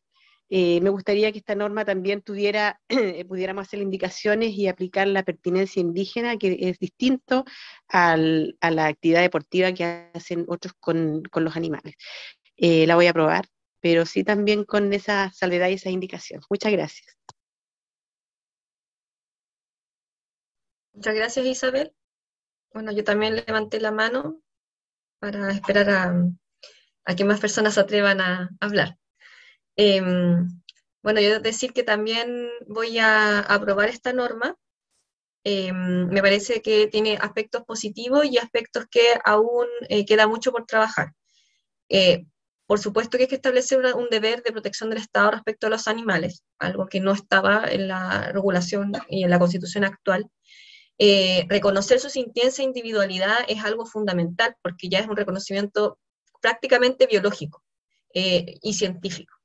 Em, que obviamente su, su experiencia como individuo no es lo mismo que una experiencia colectiva, sino que en tanto incluso eh, ciertos animales ya son considerados conscientes y por tanto reconocen que son un ser independiente de los otros seres y por tanto tienen sus propios intereses. Creo que ya con esa evidencia científica tenemos que reconocerlos como individuos y no solamente como parte de una especie. A su vez, la sintiencia también y la posibilidad de experimentar eh, positiva o negativamente lo que ocurre en el entorno, eh, también es algo que ya está totalmente demostrado. Creo que cada quien de los que están acá también en la comisión ha podido experimentarlo de distintas maneras en su vida y es muy bueno que esto esté reconocido también de manera constitucional porque también va a ser un orientador de las políticas públicas. Em, la prohibición de las prácticas que los sujeten a crueldad creo que también es importantísimo porque ah, da un mandato al legislador para que podamos eh, avanzar en este tipo de materia. No olvidemos que también en Chile tenemos leyes que son bastante eh, avanzadas, como la ley de protección de los cetáceos, y creo que podemos seguir avanzando así sin tener que eh, dejar excluida de la, de la, regulación a ciertas actividades, por más que los gremios que la promuevan tengan mucho poder, ¿cierto? Em, por otra parte, sí creo que tiene falencias. Creo, por una parte, que es fundamental el reconocimiento de los animales como sujeto de derecho. Yo estoy totalmente de acuerdo en que en esa subjetividad tenemos que reconocer cuáles derechos eh, y establecerlos con claridad. Eh, por supuesto que hay, hay derechos que son fundamentales para los animales, como el vivir libre de, de, tratos crueles o de maltrato, y existe también una jurisprudencia muy avanzada en nuestro país al respecto. De hecho, Chile fue a través de, un, de una pena, eso sí, no, no, no, no de cárcel, sino que al principio de multa, fue uno de los primeros países en Latinoamérica en regular el maltrato animal a nivel penal. Y creo que eh, es una práctica en donde nosotros como Chile podemos también tomar la batuta en ese sentido y establecer que ahora el delito de maltrato animal no lo defendemos porque a los humanos no nos gustan los tratos crueles o nos parece que es poco civilizado para nuestra, nuestra propia eh, construcción social, sino que ahora queremos defender el, o defender el, el, no maltrato animal, ¿cierto? O el, buen vivir de los animales en la medida de que son ellos los que tienen ese derecho. Eh, basándolos, como ya lo venían diciendo también con la naturaleza, ¿cierto? Finalmente los debates se van cruzando de un objeto simplemente jurídicamente protegido a un sujeto de sus propios derechos. Entonces, el, actual delito de maltrato animal pasaría a ser un derecho de los animales. Eh, y creo que es muy fundamental que podamos reconocerlo de esa manera. Por otra parte, también falta eh, establecer eh, con mayor claridad cuáles vendrían a ser los deberes particulares de las personas responsables de los animales. También bien lo decía Isabel, hay que empezar a relacionarse con los animales de una manera distinta. Y creo que también tiene como falencia el ámbito de la educación, que es fundamental.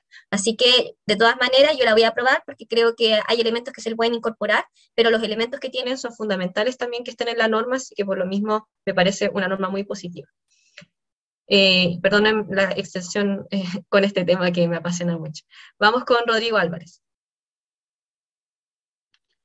muchas gracias Camila, muchas gracias por tu intervención también para entender más las visiones. No, a ver, Fran, tú que lo has presentado, yo todavía estoy analizando el conjunto de normas en esta materia. La, la verdad es que no lo voy a probar todavía porque quiero analizar más las consecuencias, como te decía hace un rato, exclusivamente jurídicas. Todavía no tengo un adecuado cuadro, no, para actividades culturales, sino que en general para el conjunto de actividades que hoy día eh, tienen alguna relación con, los animales. Solo eso. Gracias, Fran, gracias, Camila. Gracias, Rodrigo. Vamos con Nicolás Núñez. Sí, una de las cosas que mm, me escuchan, ¿no? Que antes no me escuchaba ¿sí? escucha bien? Una, de las cosas complejas de avanzar con respecto a la, a sentencia, estamos de acuerdo con la sentencia, obviamente, y, el marco más allá, corrido por así decirlo, de, la titularidad de derechos, el tema de la protección y del cuidado. O sea, mm, ser dueño de, como se entiende hoy día, la propiedad sobre los animales, no es óbice para poder estar restringiendo los cuidados que se tienen que tener sobre los, animales. No sé si me explico. Eh, eh, la ley hoy día, lamentablemente, como está regulada, sabemos que no ha dado abasto. Em, estoy de acuerdo en, todo lo, de la norma, pero sí el tema de, de, los cuidados y la responsabilidad sobre los animales también tiene que estar, entendiendo también que cambia este paradigma y que dejan de ser eh, cosas y no hay una propiedad sobre, sobre los mismos, pero tiene que haber un deber de, de cuidado también y hacerse cargo.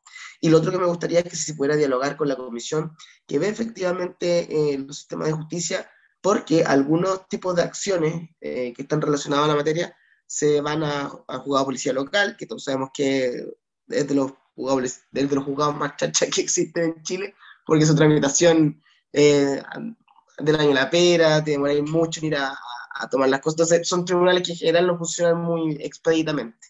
Me disculpan todos los juzgados de policía local de Chile, pero esa es mi humilde opinión, por eso no tramito policía local. Y otras cosas se van también a la, a la fiscalía. Entonces, un mismo hecho relacionado a lo que estamos conversando ahora, jurídicamente su competencia se puede derivar a distintos tipos de instituciones. Entonces sería bueno que esta norma dialogara con el sistema de justicia y poder armonizar en ese, en ese sentido. Eso, gracias. Gracias, Nicolás. Vamos con Roberto Vega. Gracias, Camila. Bueno, acá hay dos temas. Yo me voy a abstener de esta norma y no porque lo he dicho varias veces, no crean la sentencia de los animales. Es porque tenemos que avanzar hacia el respeto de ellos, pero también sobre el cuidado animal que tanto hemos escuchado y el bienestar del mismo. Acá claramente se está prohibiendo una actividad como el rodeo, una actividad que la gran mayoría de los que están aquí presentes quizás desconocen, es una actividad regulada, quizás podemos regular mucho más, preocuparnos que los animales tengan un trato mejor que el que tienen, con mayor regulación, con mayor castigo a quienes hacen crueldad animal. El tema que lo prohibamos en la Constitución no va a hacer que los animales dejen de sufrir. No solamente es el rodeo, hay otras actividades, incluso ya el hecho de tener mascotas puede ser en algún minuto calificado como crueldad animal. Creo que los guasos y la gente del campo son los que mejor entienden a los animales, son los que viven y se desvían por ello. Es por eso que avancemos, y siempre lo he dicho, avancemos en una norma que pueda representar a los chilenos que están hoy día viviendo en Chile y que quizás necesitan conocer mucho mejor la actividad del mundo rural, pero no prohibamos actividades. Por eso mi voto en, esta, en este momento va a ser abstención, porque como lo he dicho, no estoy en contra de la sentencia de los animales, creo que todos los animales, incluso las plantas, sienten, pero no por ello podemos dejar de prohibir actividades que son necesarias para nuestro país y lo que sí tiene que estar prohibido es la crueldad hacia los animales y también hacia todo tipo de seres vivos, incluyéndonos a nosotros. Muchas gracias. Muchas gracias, Roberto. Vamos con Contazo San Juan. Sí, gracias. La verdad voy a ser bien, muy, muy sucinta para decir que también es una, son normas todas las que llegan respecto de los animales que me causan también mucha emoción. Es algo muy sentido, sobre todo de la, de la juventud de nuestros territorios. Eh, es una conciencia que ha ido creciendo muy, muy fuerte eh, y me parece vital también y que ayuda a este cambio de paradigma que, que, estamos también pulsando. En esta nueva relación con la naturaleza también obviamente están incorporados lo que son los animales. Así que considero que es una, una norma que, que, avanza en buen camino y nos permitirá abrir eh, los debates para las otras que vienen, pero también como base me parece que está muy bien y por eso también la voy a aprobar. Así que muchas gracias a las autoras, autores y patrocinadores. Muchas gracias, Constanza. Vamos con Carolina Sepúlveda. No solo volver a agradecer la norma eh, que patrociné, que es un inicio recordando lo que se viene. Yo la verdad no veo que esté prohibiendo algo directamente la norma. Está diciendo nada más que los animales son sintientes y está poniendo una base de cuál es el trato y la forma de, de, de mirarlos. Como ya dije, creo que es una norma que va a conversar bastante bien con las otras normas que se vienen con respecto a animales y que por lo tanto va a quedar mucho más completa de lo que está ahora hacia lo que se quiere establecer dentro de esta constitución. Así que agradezco la norma y agradezco también a Francisca al mencionar a su abuelo, que también me hace, me hizo recordar a, a mis abuelas, el campo sacar leche, porque he visto nacer muchos animales, he visto la necesidad también en el campo que se tiene de, de apoyar y ayudar cuando viene una, una, vaca con problemas, cuando viene un cordero con problemas, cuando son primerizas, y hay que estar ahí. Hoy hay una coordinación del campesino con su animal, porque su animal es vida y es parte de la vida que él tiene. ¿ya? Y la mayoría, por lo menos, de la agricultura de pequeño y menor campesino es toda una agricultura que, hace, que se hace campo, y a campo significa que tienes, puedes tener solamente 2.5 vacas por hectárea para poder tener una, una buena forma de, de, pasto. Entonces, es una forma de convivir con los animales. Sé cómo los animales reconocen la voz de mi padre cuando los va a alimentar, entonces todo eso uno uno lo agradece y van corriendo, y los mismos corderos cuando los suelta en la mañana empieza a oscurecerse y llegan solos nuevamente a guardarse porque es parte de su rutina. Así que los animales son sintientes, comprenden lo que está pasando y son parte de buscar una forma de protegerlos. No cambiar esas costumbres, pero sí que estas costumbres vayan bajo otra mirada del trato con los animales, sino como más pares que inferiores. Así que gracias. Muchas gracias, Carolina. Vamos con Bernardo Fontaine. Y si pueden bajar la manito quienes ya hablaron, por favor. Gracias. Gracias, Camila. Mira, yo rechazo totalmente la crueldad con los animales y, de hecho tengo mucho, mucho cariño por, por los animales que tengo a mi alrededor. Pero considero que esta norma es enteramente de ley eh, y creo que perdemos tiempo y eficacia en tratar de meter en la Constitución eh, cosas que son muy válidas como esta, yo insisto, eh, pero que son totalmente de, de, ley. Por eso me voy a abstener.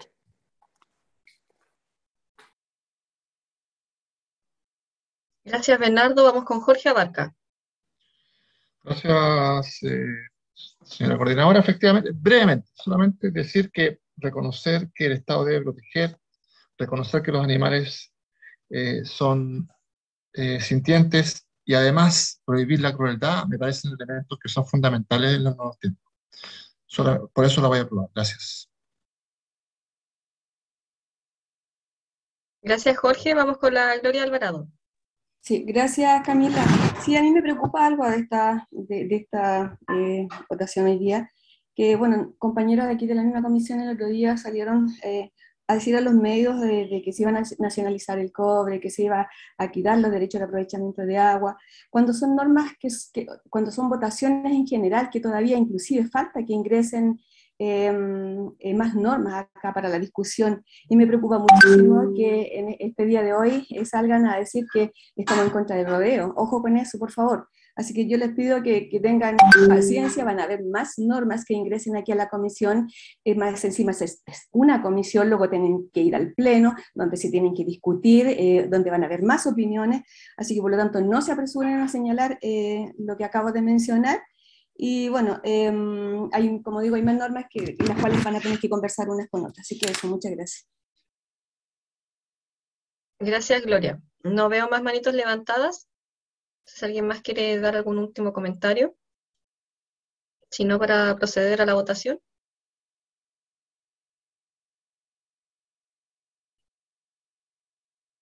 Entonces procedemos a la votación. Adelante, señor secretario.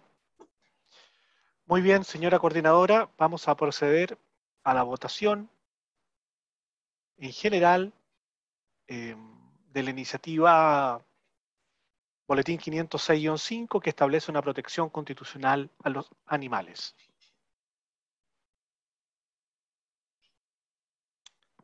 A contar de ahora se encuentra en votación.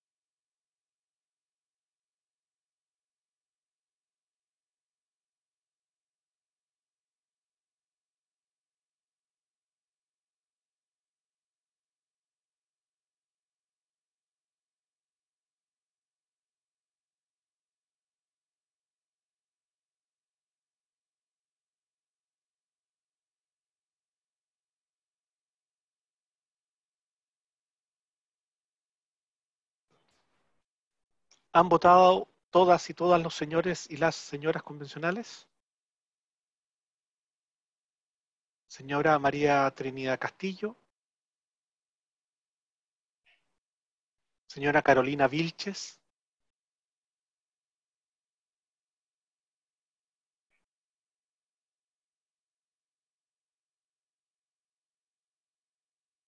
Señora Bessie Gallardo.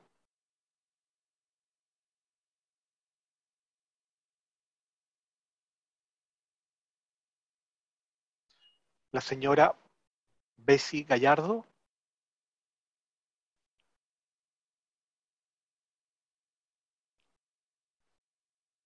Muy bien. Muchas gracias. Finalizada la votación.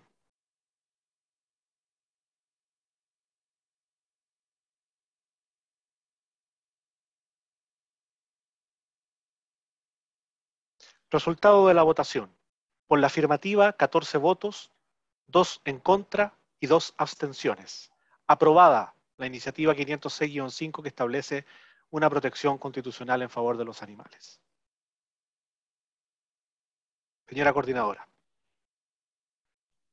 Muchísimas gracias, señor secretario. Entonces, felicitamos a los proponentes de la norma por esta mm, votación y aprobación en general de la iniciativa. Aplausos virtuales. Muchas, muchas gracias también por toda la presentación y el debate. Vamos ahora con la siguiente norma que la va a, mm, coordinar Juan José. ¿Puede haber un break de 10 minutos? Sí, yo creo que también es necesario un break, aunque no, aunque no estemos con, Eh, para, las rodillas, por favor, para las rodillas. Sí, sí, lo creo necesario. Em, si les parece bien, démonos un break de 15 minutos, volvemos a las, o un poquito menos, volvemos a las dos y media. Perfecto. Entonces cortamos transmisiones y retomamos a las dos y media con la última norma.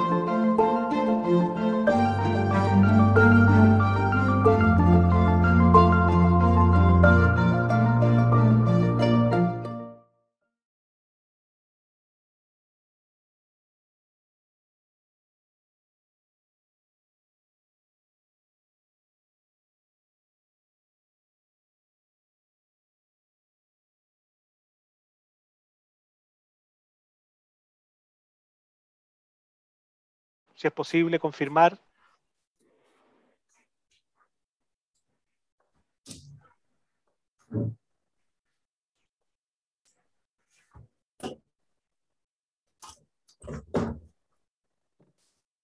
Si estamos al aire o no.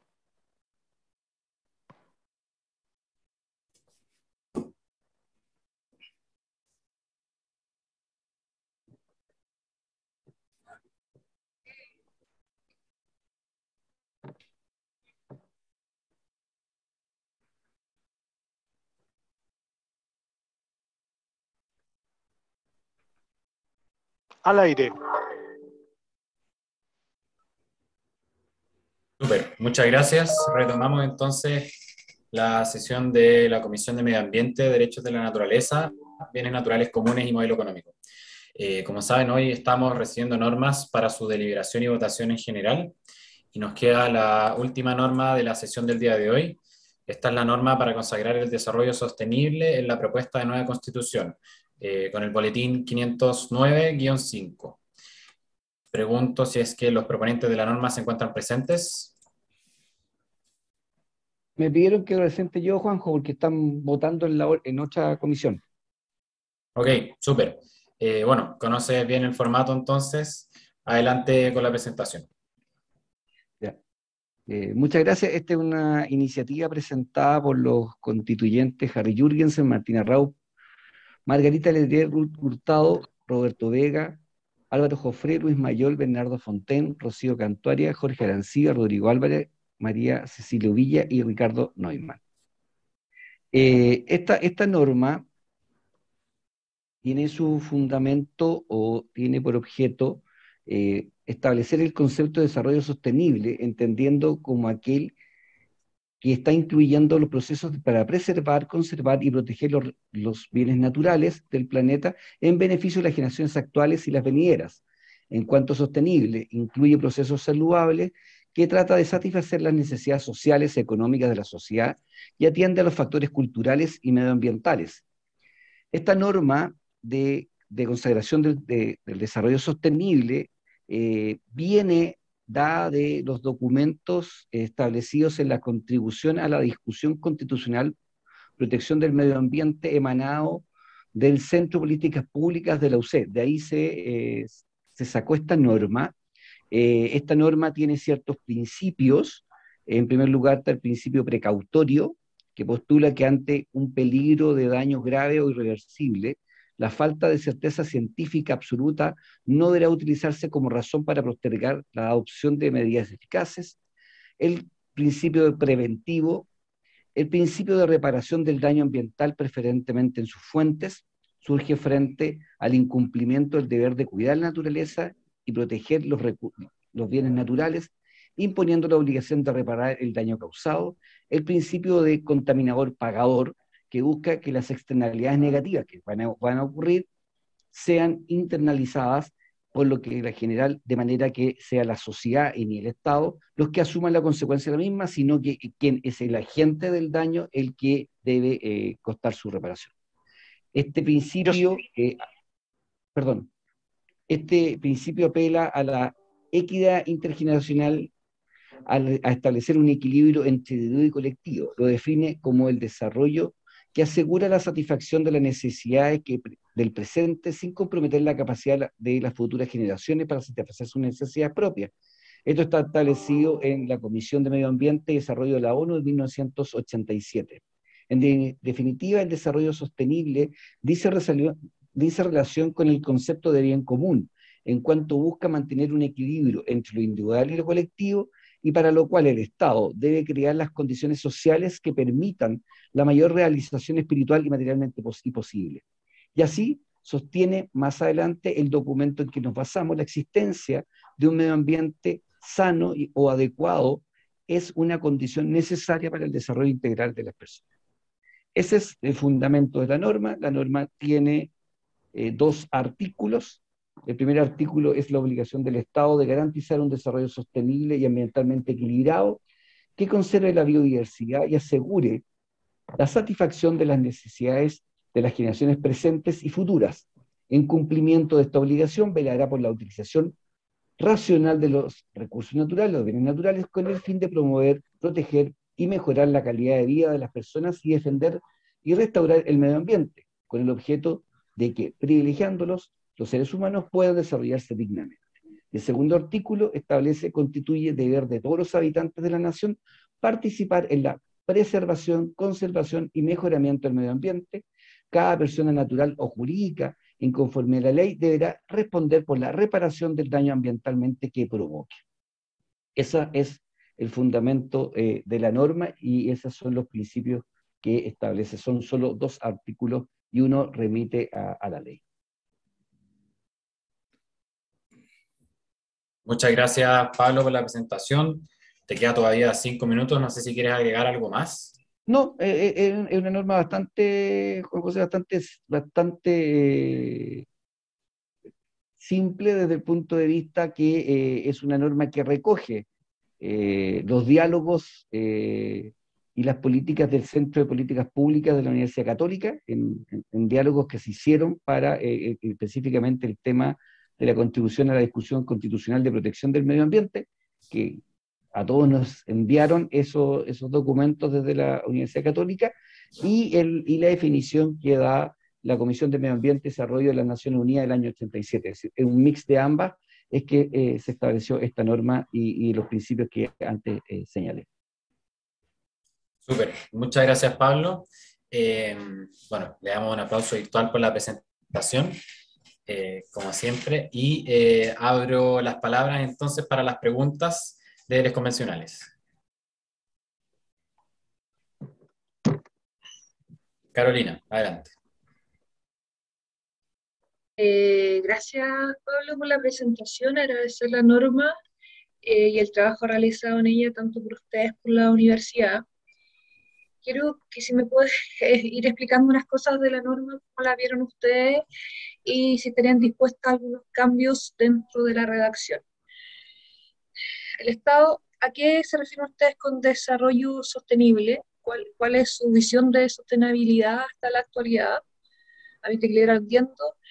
¿Por qué ocupan la palabra que conserve la biodiversidad? La prefieren a la conservación de los ecosistemas. Quiero también entender cuál es la, la utilización de biodiversidad y no ecosistema para la satisfacción de las generaciones futuras y presentes, pero eh, no habla también de un cuidado propio hacia la naturaleza. Entonces, me gusta que veamos las generaciones presentes y futuras que este desarrollo, pero una protección de naturaleza, sería también una parte de la pregunta. ¿Qué, qué supone racional de los recursos? Porque una utilización racional no sé si sea una utilización limitada, porque no establece una que sea que no, eh, digamos, que no cambie los equilibrios del ecosistema o la naturaleza, porque podríamos decir que el ser humano hasta ahora hizo una utilización racional de los recursos en función de la racionalidad que había, que había tenido y vemos que eso ha tenido consecuencias. Estiman que racional es la palabra más adecuada para, para acá la norma,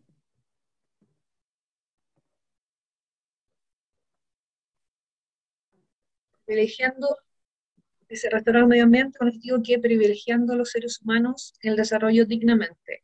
Aquí también privilegiando solamente el desarrollo humano, como hemos dicho, está muy enfocada al hombre, creo que falta algo más también privilegiando, también podría ser lugares de, de conservación de la naturaleza, lugares prístimos, entonces quiero ver si están dispuestos a cambiar la norma, como dije, a qué se refieren a desarrollo sostenible, si podríamos ver biodiversidad, por ecosistema, si tienen una visión más global que solamente esta sostenibilidad va hacia el hombre o hacia también sostener los ecosistemas, porque sostener los ecosistemas no es solo la vida humana, sino son varios tipos de desarrollo vitales que afectan obviamente a, a la vida humana, pero todos sabemos que si no estuviéramos en el planeta, el planeta existiría perfectamente bien si nosotros incluso está mejor.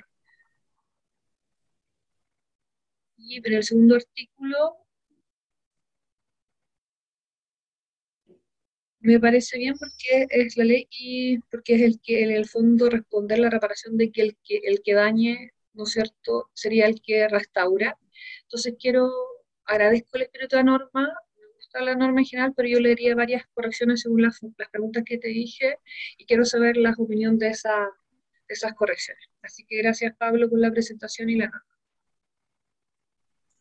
Gracias, Caro. Isabel.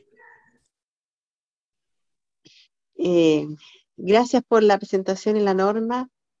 Eh, tengo las mismas aprensiones que Carolina, pero también decir que estamos en un nuevo proceso, eh, olvidándonos de las antiguas lógicas, creando un nuevo marco jurídico desde una hoja en blanco. Pero esta norma me lleva al mismo escenario que hasta hoy existe, es decir, la mirada antropocéntrica que el Estado ha tenido respecto de la Pachamama. Eh, yo no sé si los autores eh, tendrían la voluntad, por ejemplo, de cambiar el concepto de recursos naturales por bienes naturales comunes o medio ambiente por naturaleza. Esas dos preguntas. Gracias, Isabel. Gloria. Gracias, Juanjo. Eh, bueno, quiero dar las gracias por la norma, sin embargo, igual tengo las mismas aprensiones de Carolina y de Isabel la utilización racional de la naturaleza que habla, eh, es un concepto que, que, viendo el descalabro que hay hoy día en el fondo ambiental, eh, igual me, me, preocupa muchísimo eh, ese concepto. por otro lado, el tema de privilegiando a los seres humanos, claro, una visión antropocéntrica, van de medio de la naturaleza, y lo otro que, a ver, en el artículo 2, en la primera parte del artículo pareciera ser razonable este deber, este deber de la comunidad y preservar y mejorar el medio ambiente eh, se plantea como un deber de todos los habitantes de la nación. Entonces la pregunta es, ¿qué pasa con la plurinacionalidad y los pueblos originarios? Eh, no sé si no están considerados en la norma o se, quedó pendiente, es una pregunta. Eso, eh, gracias. Gracias, Gloria. Trini.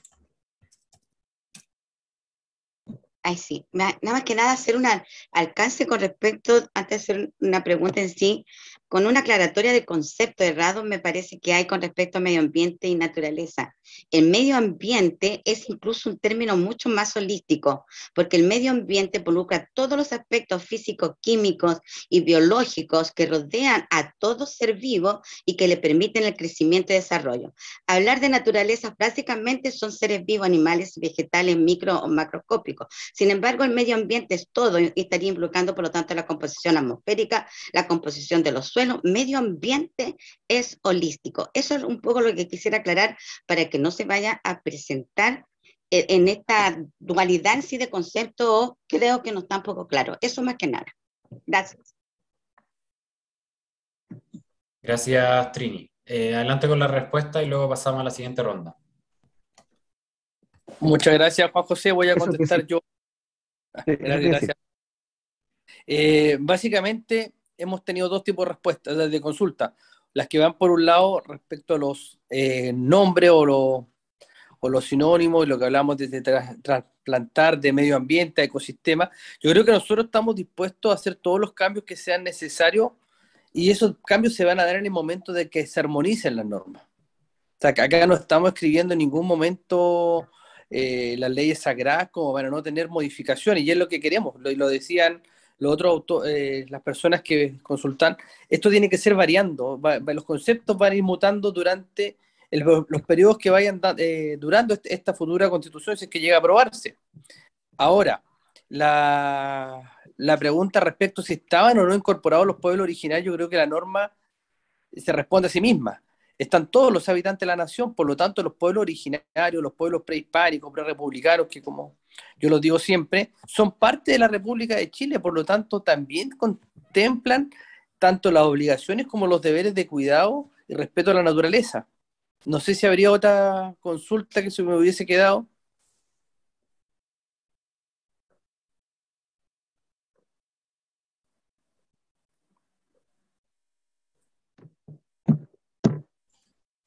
Em, no sé si alguno de los que preguntaron sienten que su pregunta no fue abordada antes de pasar a la siguiente ronda. ¿No? Bueno, eh, pasamos entonces con la siguiente pregunta. Está Camila Zárate. Ah, bueno, no. ¿Qué cosa, Caro? que yo sentí que la pregunta no fue abordada. eh, super, ¿te parece si la reiteras después de la Cami? Gracias. Bueno, yo no estoy muy de acuerdo en gran parte de la norma, pero, pero antes de ir a lo que ya es netamente mi opinión, que lo voy a reservar para la fase de deliberación, em, quiero hacer una consulta respecto a los principios. ¿Por qué, y esto es una pregunta técnica jurídica, ¿por qué prefieren que el principio orientador sea el desarrollo sostenible y se subsuman a este desarrollo sostenible principios tan importantes como el precautorio y el preventivo, que están más arriba en la, la fundamentación, ¿cierto? Pero luego no aparecen en el texto de la propuesta. Em, yo, yo, creo que al menos a, nivel eh, jurídico, de derecho ambiental, eh, estos principios no se subsumen del desarrollo sostenible. Entonces es importante que queden separados o al menos explicitados. Entonces yo quería saber por qué eh, los dan por entendido, ¿cierto?, con esta, con esta escrituración, pero luego no aparecen de manera expresa en la propuesta totalmente tal. Gracias, Cami. Ahora sí, Caro.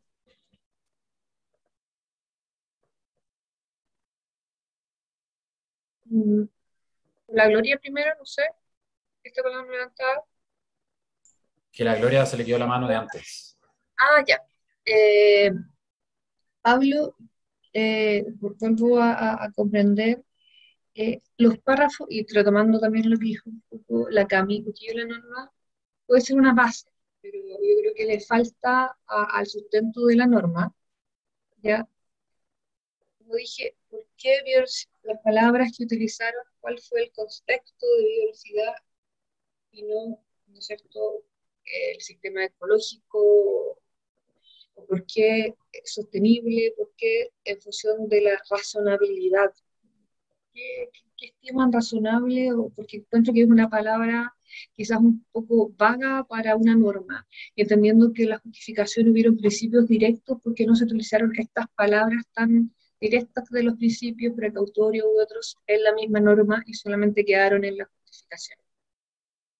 Y nuevamente agradezco la norma y el trabajo realizado.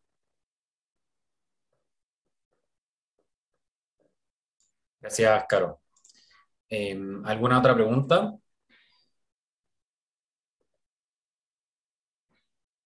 ¿No? Ok, adelante con la respuesta entonces.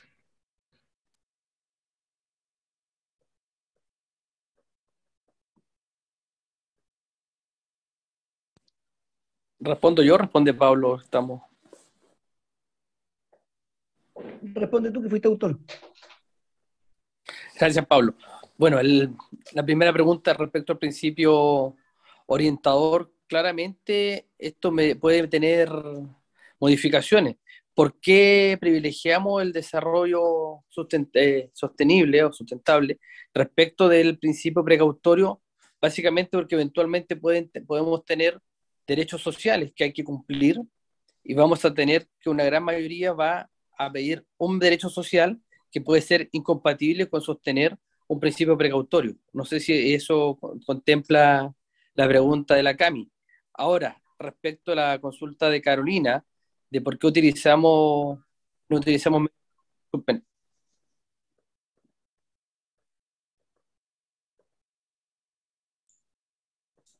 Roberto. Se me, cortó, se me cortó el, el, teléfono. Lo que, le, lo que les decía Carolina respecto de por qué no, no utilizamos medio ambiente o el, el ecologismo. Eso yo creo que es algo que estamos abiertos a cambiarlo, Carolina. O sea, no, no, estamos cerrados. Yo creo que nadie está cerrado a tener una, una frase de piedra respecto de un concepto. Y lo, lo dijo la misma Trini. O sea, los, vamos a tener que discutir en algún minuto cuál es el concepto más adecuado para cada uno de los puntos que estamos colocando en, en las normas. Y eso va a ser la, yo creo que va a ser la mayor tarea que vamos a tener como comisión. Porque podemos tener muchos acuerdos, en, eh, pero a veces diferimos y el disenso se produce justamente respecto del nombre. Y quizás ahí es donde tenemos que hacer el mayor esfuerzo. O sea, nosotros estamos de acuerdo de que esto es una norma básica, que tiene que modificarse, pero la idea es que se armonice con las demás propuestas y tener una visión de todo. Ese es un poco lo, lo que tratamos de hacer.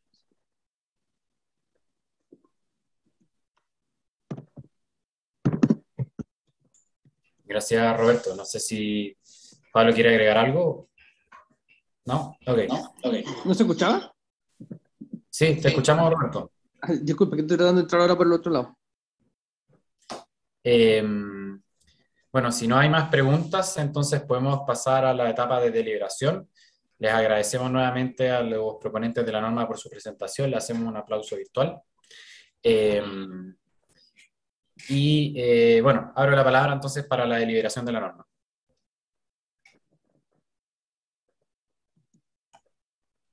Isabel, adelante. Y agradecer nuevamente eh, la presentación de la norma. Eh, desde ya digo que la voy a votar en contra. La respuesta de Roberto para mí no es suficiente para el concepto de plurinacionalidad, que además voy a insistir, es un principio que se aprobó está aprobado en el reglamento general de la convención. Y lo segundo es que, por favor, cuando uno le haga preguntas a los autores, no contesten otros constituyentes. Me refiero a, que la pregunta que yo le hice a, Pablo y Roberto la respondió Trinidad. Gracias. Yo solo aclarar un concepto. Gracias, Isabel. Eh, no veo más manos levantadas. No sé si alguien más quiere mencionar algo. Carolina, ahora sí. a ver si se olvidó levantar la mano. Bueno, yo eh, la norma viendo que es solo cambiando algunos conceptos a la norma, es bastante respetable, yo voy a votar a favor de la norma, pero sí quiero conversarla con los autores para explicarle por qué son los cambios de concepto, para también haya una, una aporte de, de educación, porque en este caso razonable no me parece bien, como también dijo Isa, que recursos naturales, nosotros estamos hablando ya de bienes comunes, entonces hay que buscar las frases y las palabras adecuadas, pero yo creo que el espíritu que está buscando la norma es el mismo que estamos buscando, solamente que la mirada de donde se está haciendo es distinta. Se está haciendo una mirada desde el hombre, nosotros estamos viendo una mirada más que ya llame la naturaleza y una convicción y una convivencia con ella. Por lo tanto, creo que la norma es bastante rescatable y por eso les voy a, dar un punto de confianza en el sentido que se puede mejorar y voy a votar a favor de ella. Gracias, Caro. Cota. Gracias. Em, sí, yo la verdad es que leemos la norma y la verdad no nos satisface. Mm, vemos como que el corazón de la propuesta del artículo 1 propone la priorización humana frente a la naturaleza, eh, en cuanto a lo que dice el artículo 2, que eh, podría ser algo bueno. Creo que hay otras también normas que ya lo están tratando, los mismos derechos de la naturaleza, y que están en mejor posición de lo que por lo menos nosotros estamos buscando. Así es que en el mismo sentido también de no irse llenando de normas, abundando después lo que habrá que ir limpiando, eh, yo voy a rechazar eh, esta norma y bueno, por el, mismo corazón que digo que tiene, que es totalmente antropocéntrico. Eso, muchas gracias. Gracias, Cota. Bueno, eh, un poco siguiendo la, argumentación de, la Cota, eh, yo creo que esta norma, hay dos razones por las cuales yo no la voy a aprobar. Una, por su visión antropocéntrica, digamos, total. Ya, hablar de ambiente, hablar de recursos, ¿ya? hablar del humano como centro, digamos, de la preocupación de esta norma. Eh, hablar de sustentabilidad, pero sin decir qué condiciones tiene que haber para que haya sustentabilidad. Mi opinión personal es que no hay sustentabilidad si no hay transformación previa, ¿ya? en una serie de cosas. Entonces, yo siento que es una norma que no nos está dando una, una, solución a los problemas que estamos, que estamos viviendo. Y hay otra cosa que pasa con todas las normas que, que han venido, digamos, desde el sector de que hicieron la norma, eh, que hablan de deberes, solo deberes. El deber, digamos, de proteger, el deber sin derechos. Y de hecho, la votación anterior votaron en contra de los derechos de la naturaleza. Nosotros creemos que los deberes tienen mucho más fuerza cuando están asociados a un derecho, porque un deber que no está asociado a un derecho es una imposición, una acción impositiva a cumplir algo sin haber un derecho detrás. En cambio, cuando hay un derecho y sobre ese derecho se establece un deber, hay una relación armónica entre derecho y deber. Entonces, eh, yo siento que ninguna de esas dos cosas está en la norma. ¿ya? No está la naturaleza como el centro, ¿ya? ni está también el concepto de los derechos de esa naturaleza. Y hay una visión muy antropocéntrica eh, que se ha repetido, se ha repetido, digamos, en todas las normas que hemos, que hemos recibido. Así que yo no voy a aprobar esa norma. Gracias, Feña. Cami. Sí, yo también tengo una palabra muy parecida a la de Fernando, en que me parece que hay dos aspectos importantes de esta norma por, las cuales, eh, por los cuales yo tampoco la voy a aprobar. Eh, insisto que hay cosas de la fundamentación que estaban bien interesantes, pero que lamentablemente después no se vieron reflejadas en el párrafo. Em, y, pero eh, en lo sustancial la norma creo que tiene dos visiones. Em, dos visiones que no son necesariamente las que estamos buscando eh, desde un cambio de paradigma, ¿cierto? Por una parte, una visión antropocéntrica, ¿cierto? Que no reconoce a la naturaleza como titular de derechos, que entiende que los intereses humanos están por encima y se tienen que privilegiar em, respecto de la naturaleza, entonces no nos entiende a nosotros los humanos como parte de la naturaleza, sino como una, un individuo separado que la utiliza para sus distintos fines em, de una manera totalmente utilitarista, que es parte de lo que estamos ahí deconstruyendo, ¿cierto? Frente a una situación de crisis climática y ecológica que, que, está a punto de ser irreversible. Así que em, en ese sentido, obviamente, ya, ya se ha dicho, ¿cierto? Muchas terminologías tienen que ver con eso porque es el corazón o la orientación de la norma. Y por otra parte, también veo que esta norma se orienta a, eh, a la idea de mantener el principio de desarrollo sostenible como el, el principio fundante en términos económicos. Eh, frente a eso, más bien una perspectiva mucho más decolonial y latinoamericana, estamos planteando otras alternativas desde la solidaridad y la cooperación, como es el buen vivir, desde una mirada íntegra, ¿cierto?, de, reciprocidad con la naturaleza en el quehacer y en los modos de vida incluso. Eh, y eso también afecta tanto los modos de, producción, pero también los modos de consumo que, eh, y los modos de transporte también, que han sido bien poco cuestionados hasta ahora. En ese sentido, el desarrollo sostenible más bien lo hemos visto como un concepto que se instaló hace años atrás a nivel internacional para poder congeniar esta idea del crecimiento económico perpetuo o infinito, eh, que obviamente es imposible porque el, planeta tiene límites, con, eh, con una preocupación medioambiental, pero que no es lo mismo que ya derechamente reconocer a la naturaleza como sujeta a sus propios derechos.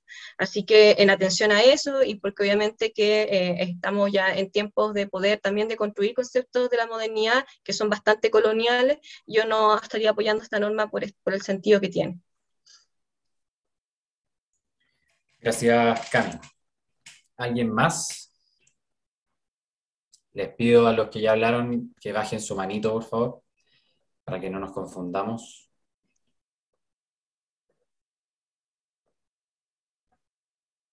¿Alguien más quiere mencionar algo al respecto?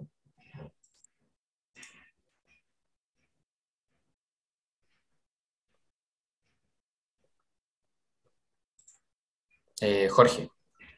Sí, solamente en la misma línea que hemos seguido todas las deliberaciones hasta ahora en la votación en general. Creo que cuando nosotros vemos normas que son perfectibles y que tienen cambio, nosotros las hemos aceptado.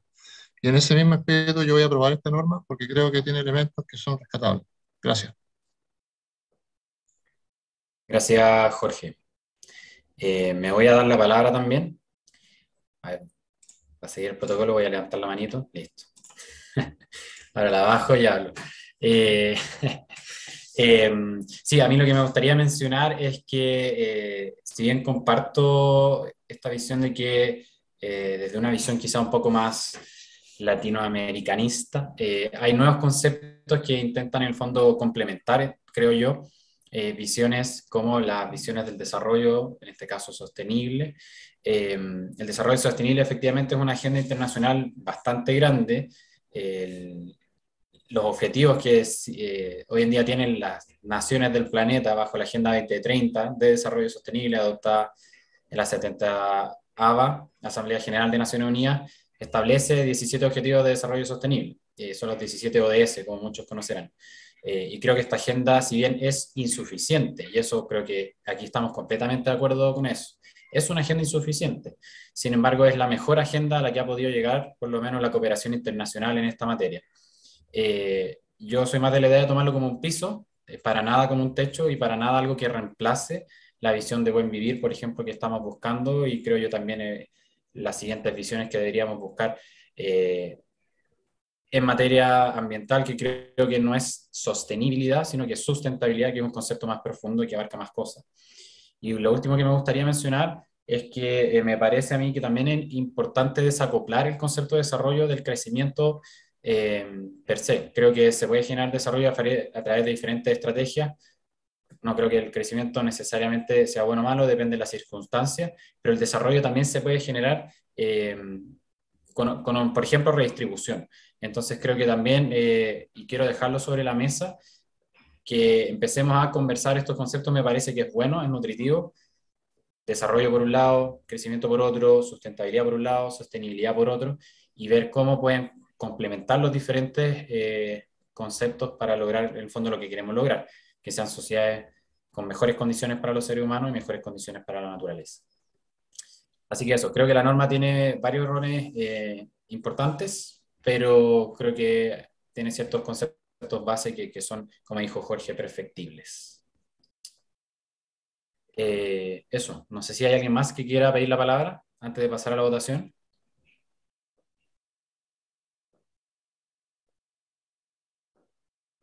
¿No? Ok. Secretario, por favor.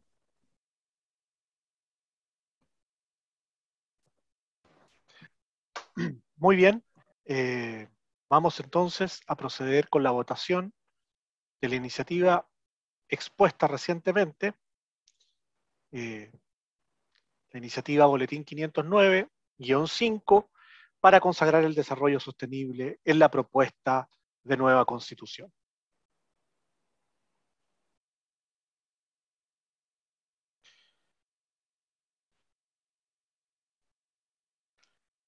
A contar de este momento, la iniciativa se encuentra en votación.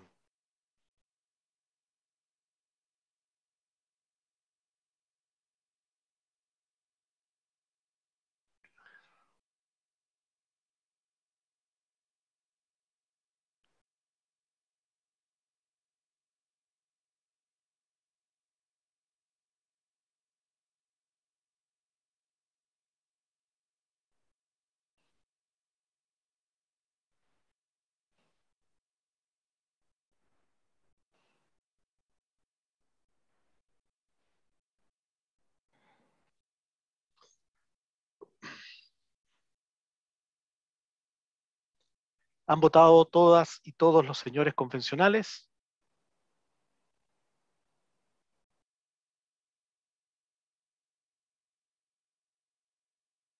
La señora Bessie Gallardo el señor Bernardo Fonten,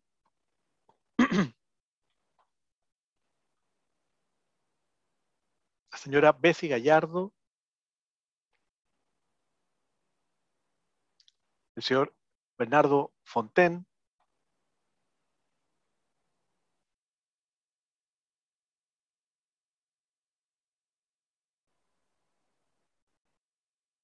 falta que consignen su votación.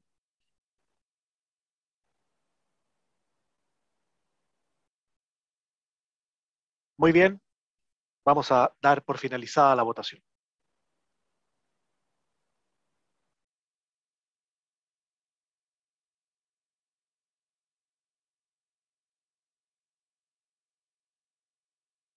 Resultado de la votación. Siete votos a favor, nueve en contra, una abstención.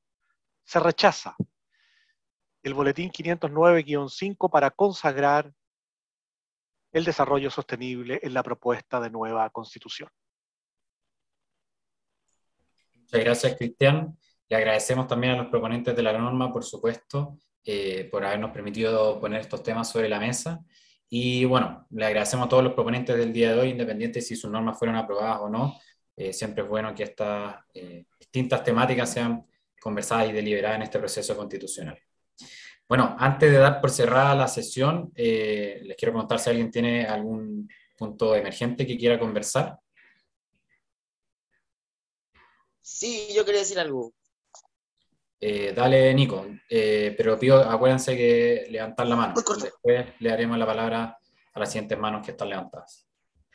No, Ya, lo que pasa es que me gustaría, si desde la coordinación se pudiera avisar con mayor antelación quiénes son las personas que exponen porque ayer nos llegó el correo como, no sé, a las 2 de la tarde y tuvimos que coordinar todo rápido para que pudieran exponer hoy día las personas que, que, pusieron. Entonces, entiendo yo que está dentro de, lo, de los horarios del, del, reglamento, pero si pudiese ser un acto de, de, buena fe y de, diligencia que se pudiera avisar con un poco más de antelación. Y, y o, por ejemplo, si se avisa un día domingo, una llamadita tampoco eh, es mala. ¿Ya? Eso. Gracias.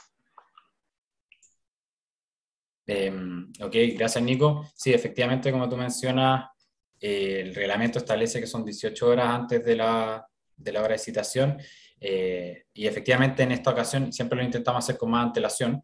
Te lo habrán visto en las citaciones, por ejemplo, la semana pasada. Sin embargo, como supieron también, este fin de semana hicimos un ajuste en las normas a presentarse, entonces por eso se, eh, se hizo más tarde de lo que generalmente lo hacíamos, pero todavía dentro de la regla. Pero acogemos totalmente la, la petición. Gracias. Eh, Rodrigo. Bueno, vamos a hacer una pregunta de, de, orden. No me quedó claro, este viernes vamos a tener sesión en la tarde también para poder ordenarnos. Solamente eso, una pregunta. Súper. Sí, yo creo que las semanas que vienen es probable que tengamos sesión extraordinaria todas las semanas, eh, porque necesitamos ese espacio por todas las normas que están ingresando. Pero sería viernes en la tarde, perdón, es viernes en la tarde siempre, ¿verdad? Es solamente por, porque me tuve un problema la semana pasada y no quiero que me vuelva a pasar este.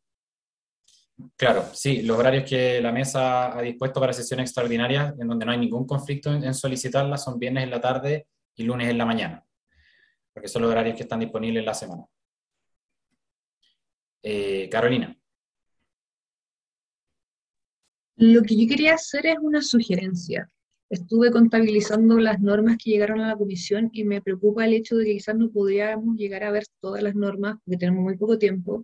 Y la sugerencia es la siguiente, sé que tenemos más normas, voy a poner el ejemplo con, los con animales, que podríamos tener la presentación de la norma, las preguntas, si la norma es de la misma índole, presentación, pregunta, y después discutir, porque como es la misma discusión, si la norma de animales de la persona A o del punto B, estamos discutiendo la temática.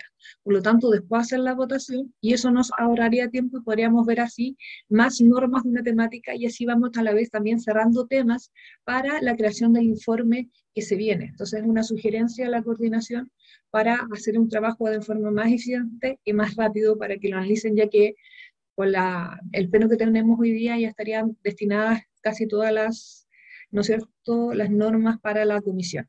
Es eso de mi parte, así que, y gracias y a seguir trabajando. Gracias, Caro. Eh, de hecho, lo habíamos pensado y efectivamente estábamos esperando el pleno que envíe las normas que nos faltan para poder hacer esa evaluación. Así que gracias por la sugerencia. Fernando. Eh, bueno, eh, dos consultas. Una, resulta que en las normas que, que yo envié, eh, cuando aparecieron, aparecieron en un orden distinto.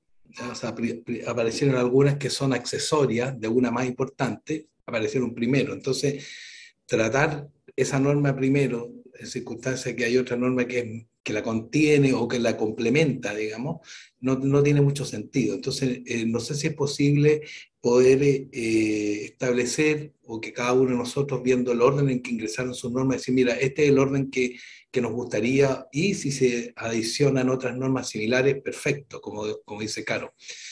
Eh, esa es mi primera pregunta, ¿ya? porque si es por el orden que aparecieron, ya van a salir totalmente irracionalmente ordenadas, digamos. Eh, y mi segunda pregunta es que el, tengo la sensación, porque todavía no sabemos, no están subidas las normas eh, como, como ya normas oficiales, sino que tenemos el listado, digamos, em, de que hay una mía que está repetida y, hay otra que no está. ¿ya? Entonces, eh, no sé, señor secretario, ¿dónde se puede comprobar eso? Em, eh, estimado señor eh, convencional Salinas, efectivamente, ¿no? Es, es, probable que se haya producido algún tipo de, de, de, error en el listado y habría que confirmarlo con la mesa directiva, que es quien asigna a la comisión respectiva las, las iniciativas que se van presentando. No obstante eso, eh, yo voy a mirar, si usted me señala, me, me singulariza qué norma es después, a través de un correo o o como sea posible, eh, lo vemos ahí particularmente el caso. ¿Mm? Perfecto. Gracias, señor secretario. Muy bien. Gracias, Cristian, y gracias, Fernando. Mencionarte que efectivamente ahora las normas no las vamos a ver por orden de llegada, como eh, avisamos a través de, de, WhatsApp ayer, tenemos pendiente enviarle un correo, eh, pero básicamente estamos viendo por bloques, ¿ya? porque tenemos que alcanzar a ver las normas del primer bloque para sacar el primer informe. Entonces puede que en ese, eh, ahora, priorización temática, eh, quizá alguna de tus normas pasó a los siguientes bloques. Ahora, si alguna de tus, normas, de tus normas que tú dices que, por, alguna, por así decirlo, contiene a otra y ambas son del primer bloque, eh, ahí nos puedes hablar por interno para resolverlo en conjunto con el secretario quien, quien hace la citación. Gracias. Roberto. Bueno, era en la misma línea. Yo no sé si, eh, Juan José, como ya cerramos el periodo de todas las normas y van a haber muchas normas que tienen componentes comunes, si es posible trabajar como se hace en el Congreso con bloque, eh, donde estén las propuestas comunes, las indicaciones y así hacer una votación un poquito más, más temática. Y no esto que saltamos de una norma a otra. Por ejemplo, en, en materia de minería, yo vi una norma que presentó el grupo de Carolina Vilche, es muy parecida a una norma que yo presenté con otro grupo eh, que incorpora la pequeña minería, entonces quizás es más fácil ir armonizando de esa forma y evitar discusiones respecto a, a las palabras, o sea, más que evitar las, las, discusiones, será en ese momento la discusión respecto de las palabras a fin de tener un texto mucho más armónico que el que se tiene que presentar. Eh, sí, o sea, perfectamente, como mencionábamos antes, eh, ahora se van a enviar las normas que ingresaron por parte del Pleno y con eso vamos a poder hacer ese comparado en el fondo para empezar a trabajar ahora más temáticamente. Lo tenemos contemplado y por eso les debemos el correo que anunciamos el fin de semana, porque todavía no nos llegan todas esas normas, pero eh, yo creo que durante el día de hoy vamos a mandárselo explicándole, acogiendo también eh, la sugerencia que hizo Trinidad, eh, cómo vamos a ordenarnos estas dos semanas que vienen, ¿cierto? O dos semanas y media, dependiendo de cuándo queramos entregar nuestro primer informe. Eh, la Cami me quiere complementar también lo que estaba mencionando, así que eh, dale Cami y luego seguimos con las otras palabras. Bueno, yo solamente complementar, varias cosas ya se han dicho, pero quizás eh, comentar un poco cómo lo hemos visto desde la coordinación. Em, esta semana era la semana en que, y es la semana en que nos vamos a enfocar ya en lo que es la votación particular, digamos que se abre otra etapa. Pero debido a la situación que bien comentaba Trinidad y que, y que varios ya lo veníamos eh, viendo, eh, estábamos en la situación de que por una parte no estábamos demorando mucho las deliberaciones, inicialmente de hecho en el cronograma habíamos pensado en siete normas por día en votación en general, cosa que no sucedió, de hecho hay días que incluso ni siquiera logramos ver las cuatro. Entonces, en atención a, eh, a esas demoras y, y, a la cantidad de normas que fue tremenda, que llegó eh, los últimos días, obviamente que eh, era necesario hacer algunos ajustes. De hecho, eh, al comienzo estábamos en una situación que nuestra comisión tenía muy pocas normas, les, recuerdo eso. Ahora ya estamos en una situación totalmente distinta.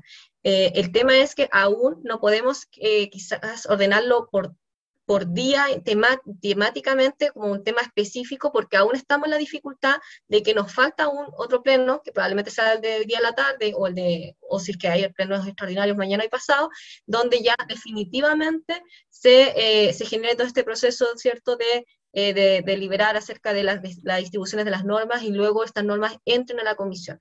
Entonces todavía no tenemos todas las normas de la comisión como nos gustaría, sin embargo ya tenemos mucho más stock de normas, con lo cual podemos hacer este, este orden que venía diciendo Juan José, ¿cierto? Que primero eh, en esta semana quisiéramos votar en general todas las normas eh, relacionadas al bloque 1 de Derecho de Naturaleza y Medio Ambiente. Con esto entonces estaríamos congelando la votación en general de las normas que vengan en los otros bloques siguientes, de los estatutos eh, particulares de cada, de uno de los bienes comunes y luego el bloque 3 de modelo económico, que harían, suspendían en el fondo esa votación en general, nos enfocaríamos esta semana en terminar todas las votaciones en general de las normas relacionadas a, a estas dos temáticas, de manera que podamos tener también durante la semana un, trabajo de indicaciones y ya eh, la próxima semana contemos con una votación en particular, con los comparados, eh, con las distintas indicaciones que se hayan ingresado, como les veníamos diciendo antes, hasta 48 horas antes del día en que se vea la norma, y, y ahí ya podríamos tener algo mucho más ordenado, esperamos ya para, para mediados de esta semana ya tenerles una calendarización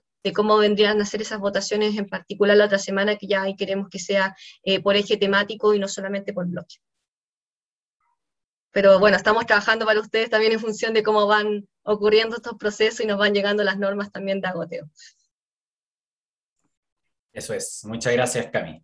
Eh, Carolina Vilches.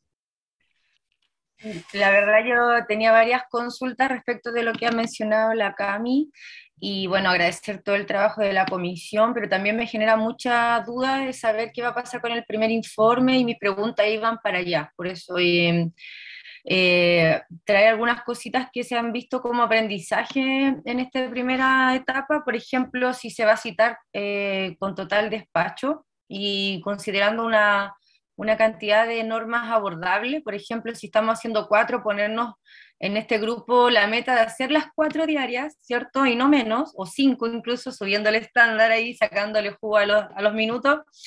Y, por ejemplo, tomar ese acuerdo comisión que vamos a hacer cinco, por ejemplo, yo pongo un número, podemos poner de acuerdo, vamos a ser cinco, vamos a ser cuatro, pero que esas sean con total despacho para que no te, estemos como ya postergando la votación al otro día, que es muy tarde, porque eso igual genera conflicto. Eh, por otra parte, como si nos podrían, eh, eh, yo agradecería mucho, creo que toda la comisión también, tener como el listado de lo que va, va en el primer bloque, para poder también prepararnos para las indicaciones. Eh, creo que también ahí es súper importante por el espíritu de esta nueva constitución, por todos los que queremos que, Chile avance, que conformemos un espacio de trabajo compartido, transversal para las indicaciones creo que es importante armar una mesa de trabajo más allá de la sesión de la comisión.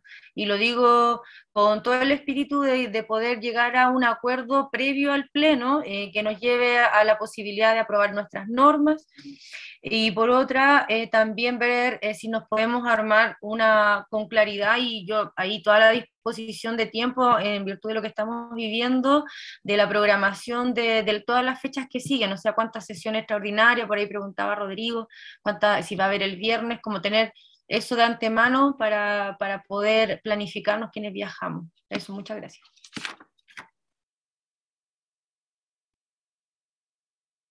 Gracias, Caro. Eh, bueno, efectivamente, como les mencionamos, nosotros estamos, al igual que ustedes, esperando que nos lleguen todas las normas para poder ver finalmente cuántas normas hay en este primer bloque. Y en base a eso les vamos a enviar la calendarización de todas las votaciones para lograr la meta que nos pusimos de tener el primer informe como primera fecha tentativa el 18 ¿ya? De, de febrero. Esa es nuestra primera meta tentativa. Ahora, Hemos conversado con otras coordinaciones, ¿cierto? Y también podría ser el 18 es viernes. Eh, también podría llegar a ser, por ejemplo, no lo tenemos para nada zanjado, pero para que se hagan una idea de las conversaciones que se pueden tener es que se podría eh, dejar para el lunes, por ejemplo. El lunes sería 21. Entonces, esas son opciones que estamos barajando y que efectivamente van a depender de la cantidad de normas que nos lleguen. Y una vez que con la CAMI sepamos, oye, en el primer bloque tenemos 20 o 40 o 5 normas, eh, vamos a poder eh, enviarles toda esa información lo antes posible para poder visualizar bien ese cronograma. En cualquier caso, mencionarles que vamos a intentar eh, tocar todas las normas del primer bloque en este primer informe, pero también podría suceder, si es que no hay forma de lograrlo con las sesiones que son posibles de citar, que queden un par de normas del primer bloque para el segundo informe, también podría ser lo vamos a evitar, pero podría no ser terrible también. ¿ya? Eh, y si es que no lo recuerdan bien, los tres bloques son los mismos bloques de audiencias. ¿ya? El primer bloque es medio ambiente y derechos de la naturaleza, el segundo viene naturales comunes y los distintos estatutos, y el tercero modelo económico. Así que, eh, Juan José, me gustaría quizás compartir pantalla solo para recordar la, los bloques, porque muchas veces se olvidan. Esto, estos bloques están, eh, bueno, son los mismos que utilizamos para las audiencias, ¿cierto? y son los temas tanto del reglamento como los temas que se incorporaron en esa sesión que tuvimos de nuevos temas al principio de la comisión. Sería crisis climática, medio ambiente, biodiversidad, principios de la bioética, bienes naturales comunes, incluye derecho a la montaña y senderos ancestrales, política plurinacional de residuos, eh, y buen vivir, como principio orientador en materia de derechos de naturaleza, los derechos de naturaleza propiamente tal, derechos de la vida no humana, donde están los animales, deber de protección, justicia intergeneracional, delitos ambientales y principios de no regresión ambiental, preventivo, precautorio y otros.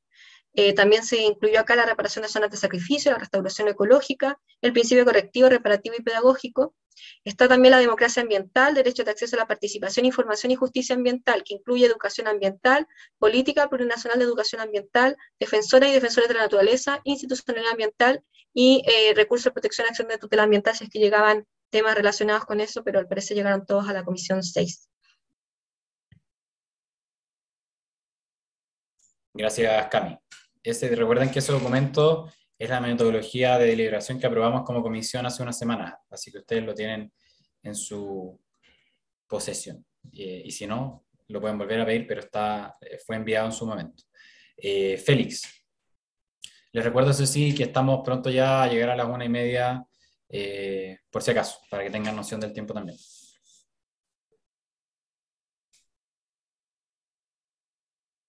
Quiero celebrar que hoy día cumplimos la meta de, los, de las cuatro sesiones que teníamos, eh, de las cuatro ponencias. Sin embargo, eh, igual hacer mención a lo que mencionaba Carolina un poco y en otras sesiones que habían mencionado otros convencionales respecto a que se citara hasta total despacho. Eh, y también eh, poner de ejemplo que en otras comisiones eh, se han visto hasta 13 iniciativas. también dentro de lo que me imagino están trabajando como propuesta, ver el tiempo diferenciado, por ejemplo, si va a ser un articulado o dos articulados que tengan un menor tiempo si alguien presenta una propuesta de, de 15 o 20 artículos. Eh, porque de lo contrario no, no, estamos cumpliendo, creo que en alguna oportunidad se habló de tener hasta siete presentaciones por comisión y, y, no ha pasado. Entonces es importante que podamos cumplir aquello, de lo contrario no, no vamos a tener los avances que se requieren. Así es. Gracias, Félix. Gloria. Gracias, Juanjo. Sí, mira, em, eh, estoy de acuerdo con las sesiones extraordinarias, eh, pero ¿no podríamos pensar que pudiesen hacerse, por ejemplo, las del día viernes en la mañana y no por la tarde? No sé si se, se vio esa posibilidad o no. Eh, me gustaría mucho que se que la revisaran. Ya, eso, lo demás estoy, he estado escuchando también, tenido alguna duda y que ya han sido respondidas. Gracias. Gracias, Gloria. Eh, bueno, como hemos comentado en otras ocasiones, eh, los viernes en la mañana y los lunes en las tardes generalmente están bloqueados porque hay sesiones de las comisiones funcionales de pueblos indígenas, ¿cierto? de participación popular. Eh, entonces, por eso nos piden no hacerlas ahí. ¿ya? Ahora, lo que sí estamos evaluando es pedir sesiones extraordinarias porque ahora la mesa, o bueno, esta nueva mesa, en verdad, es un poco más permisiva que la anterior entonces está permitiendo citar sesión extraordinaria en los horarios eh, de martes y jueves en las tardes, siempre que no haya pleno. Horarios que antes estaban bloqueados para el trabajo de colectivos, ahora se está pudiendo citar en esos horarios. Entonces también estamos hablando con la CAMI y poder citar esos horarios. Sabemos que bueno, a todos nos viene súper bien poder reunirnos con nuestros colectivos y trabajar, pero obviamente tenemos que sacar este, este trabajo adelante. Así que son horarios que ahora se abren y que también probablemente estemos citando extraordinariamente. Eh, Isabel. Eh, bueno, varias de las, de, las, dudas se han ido aclarando, concuerdo con muchas de ellas.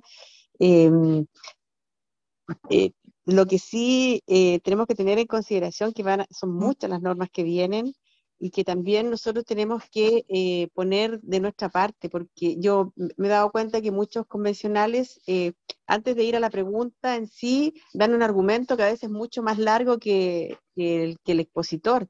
Entonces, igual, por favor, eh, eh, en respeto y por economía del tiempo, yo trato siempre de ser breve y de no extenderme con una explicación tan grande, porque el que me tiene que explicar a mí es el, es el expositor, yo no tengo por qué dar la respuesta eh, antes de hacer la pregunta, y que cuando le hagamos preguntas a los expositores sean ellos los que respondan y no otros convencionales, porque también es una, un tiempo que se pierde ahí.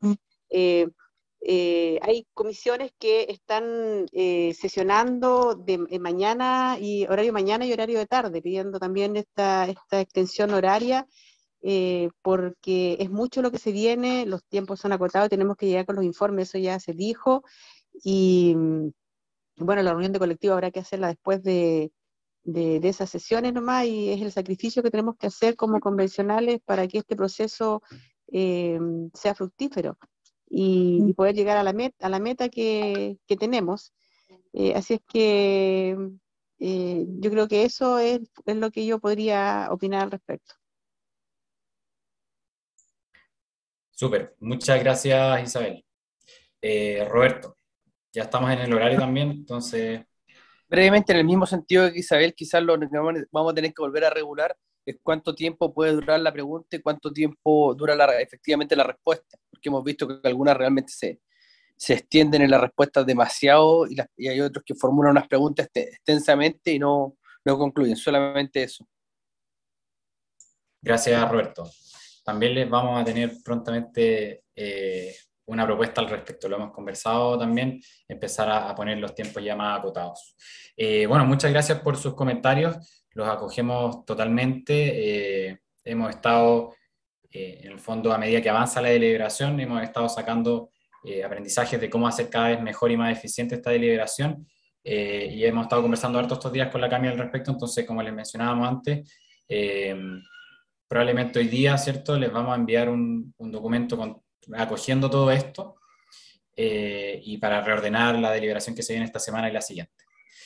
ahí nos piden una foto de comisión, eh, así que podemos sacar una fotito de comisión si todos prenden sus cámaras. Eh, si no andan tímidos hoy, nos sacamos ahí un pantallazo antes de dar la sesión por finalizada. Vamos, faltan un par de camaritas todavía. Ya creo que ahí estamos. Falta Ivana y Victorino. No sé si pueden poner su cámara. A lo mejor está mala la señal o no. Sale asustado el Nico. Ya, voy, voy, con la foto entonces. ¿eh? A la cuenta de tres. Uno, dos, tres.